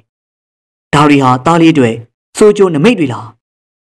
ဒေါ်တင်တဲ့ရဲ့အခန်းပေါက်နာကိုတွားကြည့်လိုက်တော့ အခန်းထဲဘယ်သူမှမရှိတာနဲ့စာကြည့်စပွဲမိသည့်ကိုပိတ်လိုက်ပြီးတစ်ချိန်တည်းမှာပဲဒေါ်တင်တင်အင်းကြီးထထားတဲ့အဝိဘီရိုတကားကလည်းပွင့်လာပါတယ်။ဘီရိုနားကိုရှောက်တော့ဤအဲ့ဒီနေရာနားမှာလည်းအရန်ကိုပုံနေပြန်ပါတယ်။အဲ့ဒါနဲ့ဘီရိုတွေကအဝိကျိတ်တွေကိုလက်နဲ့ဖယ်လိုက်တဲ့အခါမှာတော့အထဲကလက်မဲကြီးတစ်ဖက်ထွက်လာပြီးရှုံးတဲ့လက်ကိုဆွဲကုပ်ချလိုက်ပါတယ်။ရှုံးလေးရဲ့လက်မှာအပူလောင်ထားသလိုလက်သေးရအစင်းကြောင်ကြီးကြားပြီး အော်တန်ကြားလာကြောင်းမိုးညို့လေသားလေးကိုချီကအခန်းထဲပြေးဝင်လာပါတယ်။ရှုံးလေးဘာဘာဖြစ်လို့လဲရှုံးလက်လက်ကိုကြည့်ပါအောင်ကိုမိုးရေ။ဘာမှမရှိပါလားရှုံးလေးရဲ့။မိုးညို့စကားတန်ကြတော့အံ့ဩစွာကြည့်လိုက်တော့ဘာတန်ရာမှမရှိပါဘူး။ဒီနေ့ဟာမိသားစုတွေကံစုံမှုမောင်ကြမယ်နေလားလို့ရှုံးလေးတွေးနေပြီးဒီတစ်ခါတော့သားလေးကိုရှုံးလေးကတလဲစောင့်ကြည့်လိုက်ပါတယ်။မိုးညိုကတော့ဆိုဖာပေါ်မှာအိပ်ရင်းနဲ့အိပ်ပျော်လို့သွားပြီးသားလေးကိုလည်း ဒံမော့မှာထိုင်သိရင်းနဲ့ရှုံးလေးဟာအိပ်ပျော်လို့သွားပြတ်ပါတယ်။မိုးညိုနိုးလာတော့မိမနဲ့ကလေးကိုရှာလိုက်တော့မတွေ့ရနဲ့မိဖို့ကြောင့်ပဲဝင်လာလိုက်တော့ဟမ်သားလေးထမင်းစပွဲပေါ်မှာသားတယောက်တည်းတွေ့တာနဲ့အံ့ဩလို့သွားပါတယ်။သားလေးရဲ့ဘေးမှာအသေးဖြော်စက်တစ်ခုအဖုံးကလည်းပွင့်နေပြီးမိုးညိုသွားဖို့ခြေလမ်းပြင်လိုက်တော့သားလေးဟာတတိဖြော်ဆက်ကသူ့ရဲ့အလိုလိုလဲသွားပြီးမိုးညိုတယောက်ကြက်သိန်းနေထသွားပြီးတော့သားလေးကလည်း လှက်လှန်နှိုက်နေပါတယ်။ဒါမလို့နဲ့မိုးညိုတားလိုက်ပြီမေအဖြိုစက်သေးကိုသားလေးရဲ့လက်ရောက်သွားခဲ့ပါတယ်။မိုးညိုဟာဇောချွေးတွေပြန်ပြီးအိယာဘောကလက်နိုးလို့သွားတဲ့အချိန်မှာရှုံးလေးကလည်းလက်နိုးသွားပြီးသားလေးကိုဓာတ်ပေါ်မှာမတွေ့တော့ပါဘူး။မြေကြီးပေါ်မှာပြုတ်ကျလုံနေပြီးအဲ့ဒီလိုနဲ့သားလေးငိုးနေတာညနေတဲ့အထိမပြီးတော့ပါဘူး။မိုးချင်းတန်ကြီးရုတ်တရက်ထွက်ပေါ်လာပြီးတော့အချိန်ခါမဟုတ်မိုးဟာတဲထန်စွာရွာချလိုက်ပါတယ်။ မကြောက်ပါနဲ့သားရဲ့ဖေးကြီးရှိပါတယ်။တိတ်တော့နော်တတတိတ်တော့ဘာမှစိတ်မပူပါနဲ့ရှုံးနေရင်ဒီညတညလုံးသားလေးပြီးမှကိုမိုးရှိနေမယ်နော်။အဲ့ဒီအချိန်မှာအပြင်ဘက်မှာအဆက်မပြတ်မိုးတွေချင်းနေပြီးညဟာ၁၇နာရီကိုထိုးသွားခဲ့ပါပြီ။အိမ်ရှိအေကန်ထဲမှာမိုးညိုရောသားလေးပါအိမ်မောကြနေပြီးရှုံးလေးတယောက်တည်းမအိတ်နိုင်တာပါသားလေးအိပ်ပျော်သွားပြီမမေကလေးမောင်မှာပဲသွားသိမ့်လိုက်တော့ရှုံးလက်ခေါင်းနေဆောင်နေယူပြီးလိုက်လာခဲ့မယ်မိုးညိုဟာအိတ်ချင်မှုတို့နဲ့ထပ်လာပြီးသားငယ်ကိုချီလို့ သူ့အမေအခန်းထဲခေါ်သွားခဲ့ပါတယ်သူတို့အခန်းကမီးလောင်ထားတာကြောင့်အခန်းပြောင်းပြီးအိတ်တာပါရှုံးလေလေစောင်းနေခေါင်းကိုယူလိုက်တဲ့အခါမှာတောက်ခနဲ့အတန်ကြားပြီးလှည့်ကြည့်လိုက်တော့စပွဲပေါ်တင်ထားတဲ့တက်ပုံလေးဟာလဲကျလို့သွားပါတယ်သားလေးရဲ့တက်ပုံဖြစ်ပြီးချုပ်လသားအရွယ်ကမိုးညိုရိုက်ပြီးထားတဲ့ပုံလေးပါမှန်ပေါင်လေးကိုပြန်ထောင်လိုက်တော့တအိမ်လုံးမီးပြက်လို့သွားပြီးရှုံးလေမင်းရင်ပြန်มาလဲကွာမတွဲမိဘူးကိုမိုးရှုံးလေဟာ စောင်းနေခေါင်းအုံးလေးကိုပိုက်ထွက်လာခဲ့တဲ့အခါမှာလျှက်စီလက်လိုက်တဲ့အလင်းရောင်ကြောင့်တကားမကြီးပွင့်နေတာတွေ့ရပြီးရှင်ထဲမှာထိတ်ကနေဖြစ်သွားပြီးတော့စောင်းနေကိုဆိုဖာပေါ်ဖြစ်နေတကားကိုပိတ်လိုက်ပါတယ်ရှုံးလေအဆင်ပြေလားပြေးပါရကိုမိုးတကားပိတ်နေလို့ဖျောင်းနိုင်တဲ့မိချစ်ရှာပြီးယူလာခဲ့တယ်အဲ့ဒီမှာပဲစောင့်နေအရင်ဆုံးအမောင်ထဲမှာအတန်ငယ်ကျင်သားရတော့မှဖျောင်းနိုင်တဲ့မိကျစ်ကိုရှာကမိထုံးလိုက်ပြီးတော့အိမ်ရှိဆိုဖာခုံနောက်ကကြိုးကြိုးကြိုးကြိုးအတန်ကို တပြိုင်တည်းမှာကြားလိုက်ပြန်ပါတယ်ဖျောင်းတဲ့အလင်းရောင်နဲ့အာကိုရှောက်သွားလိုက်ပြီးအဲ့ဒီနေရာရောက်တော့တကူလုံးမိကျွမ်းနေတဲ့လူတွေဟာငုတ်တုတ်ထိုင်ကစိုက်ကြည့်နေပါတယ်လက်သေးကဖျောင်းနိုင်လေလွတ်ကျသွားပြီးကြောက်ကြောက်နဲ့နောက်ဆိုရင်သူ့မှာဒီဇိုင်းဆွဲထားပြီးချုပ်လေရှိတဲ့အချုပ်စင်တာရောက်သွားပြီးတော့အမတ်တမဲ့ပဲလက်ထောင်မိရတာဖြစ်သွားခဲ့ပါတယ်အချုပ်ဆက်ဟာတဒုံတယောက်ကနင်းလိုက်တယ်လို့လှုပ်ရှားလို့သွားပြီးသူမရဲ့လက်ဖမိုးမောက်ကိုအက်တွေဟာအရှိန်ပြင်းစွာနဲ့ ကြာရောက်လို့သွားပါတယ်ခဏလေးအတွင်းမှာလက်ဖမိုးပြင်တစ်ခုလုံးသွေးတွေရဲသွားပြီးအက်ပေါက်ရာတွေဘရဘွားနဲ့ရှုံးလေဘာဘာပဲဘာဖြစ်တာလဲမိုးညို့ရောက်လာတော့လက်ဖမိုးမှာအက်ဆိုင်ဝင်းနေတာဆိုတော့နှုတ်လို့မရဖြစ်နေပါတယ်တားငယ်လေးရဲ့ငိုတန်ကြားလို့ရှုံးလေဟာနာကျင်နေတဲ့ဂျားတွေကကိုမိုးသားပဲမှာလဲဒီလိုပြောတော့မှအအမိအခန်းကိုလှည့်ကြည့်လိုက်တော့အခန်းထဲမှာမီးရောင်မြင်တာနဲ့သားလေးစီကိုပြေးရပြီးအခန်းထဲရောက်တော့ဂရင်ဘေးမှာ မီးတွေဆွေးနေပါတယ်။သားလေးကတော့အလေကောင်မှာငိုလို့ပါ။သားရဲ့စုံနဲ့ဂရင်မော်ပြည့်တဲ့ပွေ့ချပြီးမီးတော့ကြားကခုန်ထွက်ပြီးတော့ရှုံးတဲ့နားမှာရှိတဲ့ခုံပေါ်မှာတင်ခဲ့ဟာမိတဲ့ဘူးကိုယူငင်းငိမ့်မှုလှုပ်ရပြန်ပါတယ်။ပတ်ဝန်းကျင်ကတော့အဲ့ဒီအဖြစ်အပျက်တွေကိုဘယ်သူမှမသိလိုက်ပါဘူး။ရှုံးနဲ့နိုးလာတဲ့အခါမှာစေးရုံခံတစ်ခုလေးကိုရောက်နေပြီးသူမအရင်ဆုံးကြည့်မိတာကအခန်းထဲရမှာချိတ်ဆွဲထားတဲ့နာရီပါ။နာရီလက်တံက 12နာရီခွဲကိုပြနေတော့တပြင်းမော်ချနိုင်ပြီ။တားလေးရဲ့တနစ်ပြည့်မွေးနေ့ကိုကြော်လွန်လို့သွားပါပြီကိုမို့ကိုမို့။ဟမ်ဘလို့နေသေးလဲတက်တာရလားရှွန်တာတားလေးရောကိုမို့။ဒါလေးအိတ်နေတယ်မထားနဲ့ပြန်ရေးလိုက်တော့နော်။မိုးညိုဟာရှုံးတဲ့ပခုံးလေးကိုကန်ပြီးတော့အိတ်ရပေါ်ပြန်လဲချပြီးပြီ။အဲ့ဒီအခါမှာဝိကြီးတယောက်ဝင်လာပါတယ်ဟေးရောင်းမတတိယပြီလားဘလို့နေသေးလဲရှုံးလဲ။ ရပါတယ်မနေ့ကမှပဲတားလေးနဲ့ဝိကြီးတို့ကိုအိမ်ပို့ပေးမယ်။ပြီးမှပြန်လာခဲ့မယ်နော်။တားလေးလည်းတစ်နှစ်ကြော်သွားပြီဆိုတော့စိတ်ချရပါပြီ။စိတ်မချသေးတာကဒီဟာရှုံးလေးဆိုတော့ကိုမိုးပြန်လာဆောင်ပြီးမယ်နော်။တားလေးကဆေးရုံမှာဆိုရင်အိတ်ဖို့ကအဆင်မပြေဘူးကွာ။အဲဒီလိုနဲ့မနေ့စောစောမှာအားလုံးဟာရှုံးလေးကိုနှုတ်ဆက်ပြီးပြန်သွားချိန်မှာဝိကြီးကြောပြေကိုကြည့်ရင်လည်းဘာကြောင့်မှမသိရှုံးလေးစိတ်ထဲမှာလေးသွားခဲ့ပါတယ်။အပြန်လက်မှာဝိကြီးရဲ့ကားတက်လေးကိုမိုးညိုကမောင်းရင်းနဲ့ အိမ်ပေါ်မှာလေးကိုလည်းဝင်ခေါ်လိုက်ပါတယ်။ဝိကြီးဟိုကားခဏတုံးလို့ရမလားကိုမို့ကဘယ်တွေသွားမလို့လဲ။အမေအုပ်ကိုစီသွားမလို့ပါ။မိမိကိုတတိယလို့လေ။ပြီးတော့စတူဒီယိုလည်းမရောက်တာကြာပြီဆိုတော့ကြည့်ကျင်နေတယ်။အဲဒီလိုနဲ့ဝိကြီးကိုအိမ်မှာချပေးပြီးသူ့ရဲ့လက်တော့လေးကိုယူပြီးတော့ထွက်လာခဲ့ပါတယ်။ဝိကြီးဟာစဖက်ရင်းနဲ့ဖိုးသားလေးအိတ်နေတဲ့ဘေးမှာထိုင်နေပြီးအိမ်ပေါ်မှာလေးကိုတော့တန်ရှင်ကြီးရတဲ့လောက်လှုပ်ခိုင်းလိုက်ပါတယ်။အချိန်ကြီးတရွေ့ရွေ့ကုန်သွားပြီး ည9နာရီတောင်ရောက်လာခဲ့ပါပြီ။အားလုံးအဆင်ပြေနေတာကြောင့်မိုးညိုဟာနောက်နေ့မနေ့မှပဲပြန်လာမယ်လို့ဝိကြီးကိုဖုန်းဆက်လိုက်ပါတယ်။အိမ်ပေါ်မှာလေးကလည်းပင်ပန်းလုံးတာကြောင့်အိတ်ခမ်းထဲမှာအိတ်နေပြီးအဲ့ဒီအချိန်မှာကလေးရဲ့ငိုတန်ကြားတာကြောင့်ကလေးကိုချွတ်ရပြန်ပါတယ်။ကလေးကိုချုပ်ရင်းနဲ့အိုက်လာတာနဲ့တက်ဆင်ထားတဲ့ပန်ကာကြီးကိုဖွင့်လိုက်တော့အခန်းထဲအေးသွားတော့မှကလေးအငိုတိတ်သွားခဲ့ပါတယ်။ခဏနေတော့ဖူးသားလေးအိပ်ပျော်သွားပြီး မိုးညိုကလည်းရှုံးလေအိပ်ပျော်သွားခြင်းမှာ next တယောက်နဲ့ထားပြီးတော့စတူဒီယိုကိုထွက်သွားခဲ့ပါတယ်။ရှုံးလေဟာနှိမ့်ချိုက်စွာအိမ်မောကျနေပြီးတကူလုံးအေးကနေဖြစ်သွားလို့မျက်လုံးဖွင့်ကြည့်လိုက်တော့မွေးကန်တစ်ခုရှိမှာပါ။မွေးကန်ထဲမှာကင်မရာတစ်လုံးကင်ပြီးမှတ်တမ်းတင်နေတဲ့မိုးညိုဂရင်ပေါ်မှာသတိမိနေတဲ့သူမနဲ့သူနာပြုဆီယမလေးရဲ့လက်ထဲမှာသားလေးပါအံ့အားသင့်စွာနဲ့တယောက်ချင်းကိုကြည့်နေမိပြီးသူမမွေးတုံးကပုံရိပ်တွေ သားလေးငိုတန်ကိုကြားလိုက်တော့ရှုံးလက်အရင်ဆုံးကြည့်မိတာကမွေးကန်တွေကနာရီ12နာရီ9မိနစ်ကိုပြနေပြီးမိုးညိုကတော့ကင်မရာနဲ့မှတ်တမ်းတင်နေသေးပါရှုံးလက်တယောက်အိပ်ယာကနိုးလာတော့ဆိုဖာပေါ်မှာနက်စမအိတ်နေပြီးမိုးညိုကိုတော့မတွေ့ပါဘူးရှုံးလက်ဟာခေါင်းကိုခါရရင်သားလေးမွေးခဲ့တဲ့နေ့ကိုပြန်စင်စားလိုက်တော့ဆောဆောကမွေးခန်းထဲမှာတွေ့ခဲ့တာ12နာရီ5မိနစ်ဒါဆိုတားလေးတကယ်မွေးတာ12နာရီကြော်သွားပြီပေါ့ ဒါဆိုတားလေးဟာတောက်ကြနေမှာမွေးတာမဟုတ်ဘူးပေါ့တားကိုစနေနေ့မှာမွေးတာပါလားဟင်ဒုက္ခပဲတားလေးမွေးနေ့ကမနေ့ကမဟုတ်တော့ဘူးဒီနေ့ကျမှတားလေးမွေးနေ့ဟာဆရာတော်တတိပေးတယ်လို့သားလေးမွေးနေကြုံလွန်နေပြီဆိုပြီးစိတ်ကိုဒုံဒုံချမိတဲ့ရှုံးလေးဟာခေါင်းမီတောက်လို့သွားပါတယ်။ခေါင်းရင်းဘက်ကဟန်ဖုန်းလေးကိုယူပြီးနက်စမမသိအောင်ခိုးထွက်လာပြီးကိုရီတာတလျှောက်မှာတော့ဖြည်းဖြည်းချင်းရှောက်ရင်နဲ့မိုးညိုစီဖုန်းခေါ်လိုက်ပါတယ်။ရှုံးလေးနိုးပြီလား ကိုမို့ကိုမို့တားလေးမွေးရဲ့နေ့ကိုမှတ်မိလား။ဟွန်းဘာလို့လဲရှုံးလေအချိန်ကိုတိတိကျကျသိချင်တယ်တားလေးပဲအချိန်မှာမွေးတယ်လဲဆိုတာ။ကိုမိုးတင်နဲ့အဲ့ဒီနေရာသားလေးကတကောင်မတိုင်ခင်စနစ်ထိုးဖို့မိနစ်နဲ့ငယ်လုံးမှမွေးတာကွာ။ဘာလို့လဲ။ဟိုဘာဘာရီမလို့လဲကိုမိုးစီမှာရှုံးလေတားလေးကိုမွေးတော့ကမွေးခန်းထဲမှာရှိုက်ထားတဲ့ဗီဒီယိုမှတ်တမ်းရှိတယ်မဟုတ်လားအဲ့ဒီမှတ်တမ်းလေးကိုတစ်ချက်လောက်ကြည့်ပေးပါမြင်မြင်မြင်မြင်ကြည့်ပေးပါကိုမိုး။ဘာလို့လဲရှုံးလေးရဲ့ရှုံးလေပြောတာကိုယုံကြည့်လိုက်ပါကိုမိုးရှုံးလေဖုန်းကင်ထားလိုက်မယ် မိုးညိုဟာကားကိုဘေးမှာချရဲ့တက်တော့ကိုဖွင့်လိုက်ပြီးဗီဒီယိုဖိုင်ကိုရှာကကြည့်လိုက်တော့အာရှုံးနေတားလေးမွေးတာ12နာရီကြုံနေပြီကွာမိုးညိုဟာဖုန်းကိုချလို့ကားကိုအရှိန်နှင်းကမောင်းထွက်လို့သွားပါတယ်ဝိရရဲ့ကြောပေါ်မှာညင်သက်နေတဲ့တားငယ်လေးကတစုံတယောက်ကိုတွေ့တယ်လို့နဲ့လက်ညှိုးထုတ်ကထငုံပြီးနောင်နာကဖျက်လျှောက်သွားတဲ့ခြေတံတွေကြောင့်ဝိမုံလှည့်ကြည့်လိုက်တော့ဘယ်သူမှမရှိပါဘူးကိုမိုးလားတကားခောက်တန်ကြားပေမဲ့အိမ်မော်မာလေးဟာ တုတ်တုတ်မှမလို့ဝိကြီးဟာတူတူလေးမေးလိုက်တော့ပြန်လဲဖြေတယ်မကြားရပဲကျိုးရင်းမှလည်းစိတ်ငနေဖြစ်သွားပါတယ်ဒီနောက်မှာတော့ဖိုးသားကိုချုပ်ပြီးအိမ်ခန်းကစူပါပေါ်မှာတင်ပြီးတဲ့နောက်ကြောက်စိတ်ကိုထိမ့်ပြီးအိမ်ရှိတကားမစီကိုဝိကြီးဆွဲဖွင့်လိုက်တော့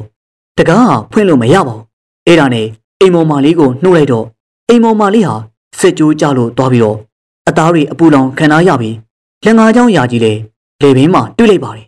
ဝိကြီးဟာရင်တွေတုံးလာပြီးတကားမကြီးကိုဆွဲဖွင့်လိုက်တော့တစုံတယောက်ပြန်ဆွဲထားသလိုဘလုံးမှဖွင့်လို့မရပါဘူးတကားအောက်ခြေကမြူကိုတွေဝင်လာပြီးဝိကြီးဟာဖုန်းလေးစီကိုပြေးပြီးတော့ဖုန်းလေးကိုကန်လိုက်တော့လေဖုန်းလေးဟာမင်းမြိုက်ထားသလိုပူနေပါတယ်ဖုန်းမြည်တန်ကြားလိုက်ပြီးနံပါတ်ကိုကြည့်လိုက်တော့ရှုံးလေခုံးနေပြီးဖုန်းလေးဟာတဖြည်းဖြည်းအရေးပြောသွားပြီးတော့ပါဝါပါပျောက်သွားခဲ့ပါတယ်နာယီကိုကြည့်လိုက်တော့7နာရီခွေးနေပြီးတကားအောက်ခြေကမြူကိုတွေဟာ အဲ့ဒီမြူကိုတွေတွေကလူရိတ်ကိုတွေ့တာကြောင့်အားတက်လို့သွားတာနဲ့အကူကြီးတောင်းမိပါတယ်အဲ့ဒီအချိန်မှာပဲတကားပွင့်သွားပြီးငုံကြည့်နေတဲ့ဝိကြီးမျက်နှာကိုရိုက်ချလိုက်တယ်လို့ဖြစ်သွားခဲ့ပါတယ်ဝိကြီးလဲကျသွားတဲ့အချိန်မှာစပင်းနေလေပေါ်မြောက်တက်သွားပြီးအရင်ကနေစောင့်နှဲခန့်ရပြီးမမြင်ရတဲ့တစုံတစ်ခုကစပင်းကိုဆွဲလိုက်တာပါဝိကြီးကိုဒေယိုတိုက်ဆွဲခေါ်သွားပြီးချန်ပီယံကိုရောက်တော့အုတ်ကုံတစ်ခုနဲ့ဝိကြီးရဲ့ခေါင်းဟာတိုက်မိလို့သွားကငြိမ်သက်လို့သွားပါတယ် ချန်ရှိကိုတက်စီထိုးဆိုင်လာပြီးပြေးစင်းလာသူကရှုံးလိုက်ပါအိမ်ထဲဝင်လာပြီးမြင်လိုက်တာကမိကိုငွေတွေဝန်းရံထားတဲ့တားလေးဖြစ်ပြီးအနားကိုပြေးသွားလိုက်တော့ပက်ပက်လင်းမှာရှိတဲ့မြူကိုတွေဟာရုတ်တရက်ပျောက်ကွယ်လို့သွားပါတယ်အိမ်လေးကထက်မယ်လို့တော့တကားမကြီးပိတ်သွားပြီးတားမိညောင်လေထက်ပေါက်ပိတ်သွားခဲ့ပါတယ်နာယီကိုကြည့်လိုက်တော့7နာရီမိနစ်40ချင်းလေးကိုဝင်လာတဲ့ကားမီးရောင်ကြောင့်မိုးညို့ဆိုတာတိလိုက်ပြီးလှမ်းပြီးခေါ်လိုက်ပါတယ် ရှုံးလဲတို့ဒီမှာတကားဖွင့်လို့မရဘူးရှုံးလဲတို့ကဲပါအောင်မိုးညိုဟာကားရဲကအပြေးလွှာဆင်းပြီးတော့တကားကိုစိုးရင်တကြီးဆွဲဖွင့်မိမယ်ဘယ်လို့မှဖွင့်လို့မရပါဘူးအဲ့ဒီအချိန်မှာနောက်ဘေးကကက်ဆိုးနဲ့ခြိထားတဲ့ပိုက်ဟာအလိုလိုပြုတ်ထွက်သွားပြီးတော့ကက်စတွေဟာနောက်ဘေးတကန်လုံးမှုန်ထူအောင်ထွက်သွားခဲ့ပါတယ်အဲ့ဒီနောက်အနောက်ဘက်အိမ်လေးစီကမိโอလုံးကြီးထွက်လာပြီးမိုးညိုတို့အိမ်ရဲ့မိဖို့ကြောင်လေးကိုဖျက်ဝင်လိုက်တဲ့အချိန်မှာပြင်းထန်လာတဲ့ပောက်ကွဲတန်နဲ့ မိတော့ကြီးဟာအိမ်ခန်းထဲကိုရောက်ရှိလာပြီးရှုံးလေးဟာတားလေးကိုပိုက်လို့ဆိုပါကုံနောက်ကိုလှေချလိုက်ပါတယ်ကံကောင်းလွန်းတာကြောင့်တီတီလေးလွတ်သွားပြီးပောက်ကဲမှုအချိန်ဟာပြင်းတာကြောင့်တကားမကြီးလေးပွင့်သွားခဲ့ပါတယ်ဒီခါမှာမိုးညိုဟာခြံထဲကိုလွင့်စင်ထွက်သွားပြီးအဖြစ်ပြက်အားလုံးညင်သွားတဲ့အချိန်မှာခလင်းကိုတန်ကြားလို့ရှုံးလေတတိယလာခဲ့ပါတယ်ရှင်ဝင်ထဲမှာတားငယ်လေးမရှိတော့ပဲခလန်းလန်းကအိတ်ခမ်းလင်မှာရောက်နေပါပြီတားလေးရဲ့အပေါ်တစ်တင်မှာ တဝီဝီမြင်နေတဲ့ပန်ကားကြီးနဲ့အဲ့ဒီပန်ကားကြီးဟာတုံခါလို့သွားပြီးတားလေးပေါ်ပြုတ်ကျသွားပါတယ်ဒါပေမဲ့ဘေးကိုကိတ်ကြလို့သွားပြီးသွေးပြက်ဖွေရဖြစ်ဆိုးကြောင်းမြင်တက်နေတဲ့အချိန်မှာဆိုဖာထိုင်ကုန်တစ်လုံးကတယောက်ကပြစ်လိုက်တယ်လို့သူမလဲကြရာအပေါ်ကို ပြုတ်ကျလို့လာပြန်ပါတယ်တားလေးကိုကယ်ဖို့အတွက်ခြေတော့ပေါ်ပြိနေတဲ့ဆိုဖာကုံကြီးကြောင့်ထလို့မရဖြစ်နေပြီးနာယီကိုကြည့်လိုက်တော့7နာရီ59မိနစ် ဘေးနားကိုကြာသွားတဲ့ပန်ကာဟာလေတာမရက်သေးပဲနဲ့တာလီနာကိုတိုးကဲ့သွားပြီးမြင်လိုက်ရတဲ့မြင်ဝင်းကအသေးအူရားစရာအဲ့ဒီအချိန်မှာမိုးညို့ကိုလှဲမဲကြီးတစ်ဖက်ကလှမ်းဆွဲထားပြီးလှဲမဲကြီးဟာအရန်ကိုပူလောင်လွန်းလာကြောင်းမိုးညို့အားကုန်ယုံမိမယ်ဘယ်လို့မှယုံလို့မရပါဘူးမိဆိုင်ကမီးလုံးတွေဟာတလုံးမီတလုံးပေါက်ကွဲသွားပြီးအင်ကြီးတစ်ခုလုံးဟာကဘာပြက်တယ်လို့ဖြစ်နေပါတယ်7နာရီ59မိနစ်လွန်မြောက်ဖို့အတွက် 10မိနစ်ပဲကြံတော့ပါတယ်အဲ့ဒီအချိန်မှာတားလေးကသူ့အမေလှမ်းခေါ်တဲ့ထင်နဲ့လက်ကမ်းပေးလိုက်တော့နုနယ်လာတဲ့လက်မောင်းလေးကိုပန်ကဒလက်ကဖြတ်တိုက်လို့သွားပါတယ်တာတားလီအမလေးသိပါပြီတားလေးရဲ့လက်မောင်းကသွေးတွေစိတ်ကြနေပြီးပန်ကာကြီးဟာမညာမတာအနားကိုတိုးကက်လို့သွားပြန်ပါတယ်အဲ့ဒီအချိန်မှာစက္ကန့်တန်လေးက12နာရီကိုဖြတ်ကျော်လို့သွားပြီးကြေလောင်လာတဲ့မြေတံနဲ့အတူပန်ကာဒလက်ကြီးဟာလည်းတိကနေရက်သွားပြီးတော့ မိုးညို့ကိုဆွဲထားတဲ့လက်ကြီးကလည်းမရှိတော့ပါဘူးမြူကူးတွေကလည်းပျောက်ကွယ်လို့သွားပြီးကောင်းကင်မှာတော့လှဝင်းကြီးပဲသူတို့တွေတွေ့လိုက်ပါတယ်မိုးညို့တို့ခြံထဲမှာရည်တံလေးတွေပြန့်လွင့်နေပြီးမိโกငွေ့တွေလည်းတက်လူလူထွက်နေပါတယ်မိုးညို့ဟာအသားကင်လှုပ်နေပြီးတော့အရှုံးလေအသားညက်လို့ကိုတခုခုလိုချင်နေကွာမိဖို့ကြောင့်မရစတိုကမ်းမေးမှာရှိရဲကိုမူတာဖေဖေကိုလေအသားကင်နဲ့ညှက်တန်လေးစတိုတွေတွားယူပြီနော်တားလေးဟာနားလေစာရွယ်ကိုရောက်တာကြောင့် ပန်းမင်းလေးတွေနဲ့စုပ်နေပြီးလက်မောင်းမှာတော့အစင်းရာကြီးကတေးရပါမဲ့ဒဏ်ရလို့တားလေးကတတောက်တောက်နဲ့ထွက်သွားပြီးသူတို့နားကိုပြန်ရောက်လာတဲ့အခါမှာလက်ထဲမှာပါလာတဲ့အရာကပြက်တံမဟုတ်သတင်းစာအဟောင်းတွေပါသတင်းစာတွေကတော့သူမကိုဝင်ရှိတုန်းကစိုးလီတူဝိညာဉ်ဘောနဲ့ပြီးသွားတဲ့သတင်းစာတွေပါဒါပီပီမမီကြည့်အောင်သတင်းစာရဲ့ခေါင်းကြီးပိုင်းမှာတော့ရော်သားတွေစက်ကြီးမပေးနိုင်တဲ့ဖြင့်မီးရှို့တက်ပြက်ခံရခြင်း တောင်းကျမ်းသူစိုးလီထူရဲ့ပုံနဲ့နောက်ထပ်တစ်စောင်းမှာအစုလိုက်အပြုံလိုက်ကလစားချီခံရခြင်းစိုးလီထူတို့လင်မယားတက်ပုံနဲ့သူတပည့်တွေရဲ့ပုံတွေဖြစ်ပြီးအားလုံးဟာထူးဆန်းစွာနဲ့မီးလောင်လို့တည်သွားပါတယ်နောက်ထပ်တစ်စောင်းကိုဖတ်မဲ့အလုံးမှာတော့ตาလီရောက်လာပြီးတနက်ကြီးကင်ထားတဲ့စိုးလီထူရဲ့ပုံကိုလက်ထောက်ပြပြီးတော့သူ့ရဲ့လက်ကိုပုတ်ပြပြီးရှုံးလဲနဲ့မိုးညိုတို့ကိုလှုပ်ပြလို့နေပါတော့တယ်ပရိသတ်တွေခုနာဆင်ခဲ့ရတဲ့ဇလန်လေးကတော့စာရေးသူဒေဝတာရဲ့ ဝိဆိုတဲ့ဇလန်လေးပဲဖြစ်ပါတယ်ဆက်လက်ပြီးတော့လေခုလိုမျိုးစိတ်ဝင်စားဖွယ်ရာဇလန်လေးကိုတင်ဆက်ပေးဖို့ရှိတာကြောင့်စောင့်မျှော်နားဆင်အားပေးကြပါအောင်ဗျာပရိသတ်များအားလုံးပဲစိတ်ချမ်းသာခြင်းကိုယ်ကြီးကျန်းမာခြင်းနဲ့ပြည့်စုံပြီးစီးပွားလက်လာပါများတိုးတက်ကြည်ပါကြပါစေဗျာ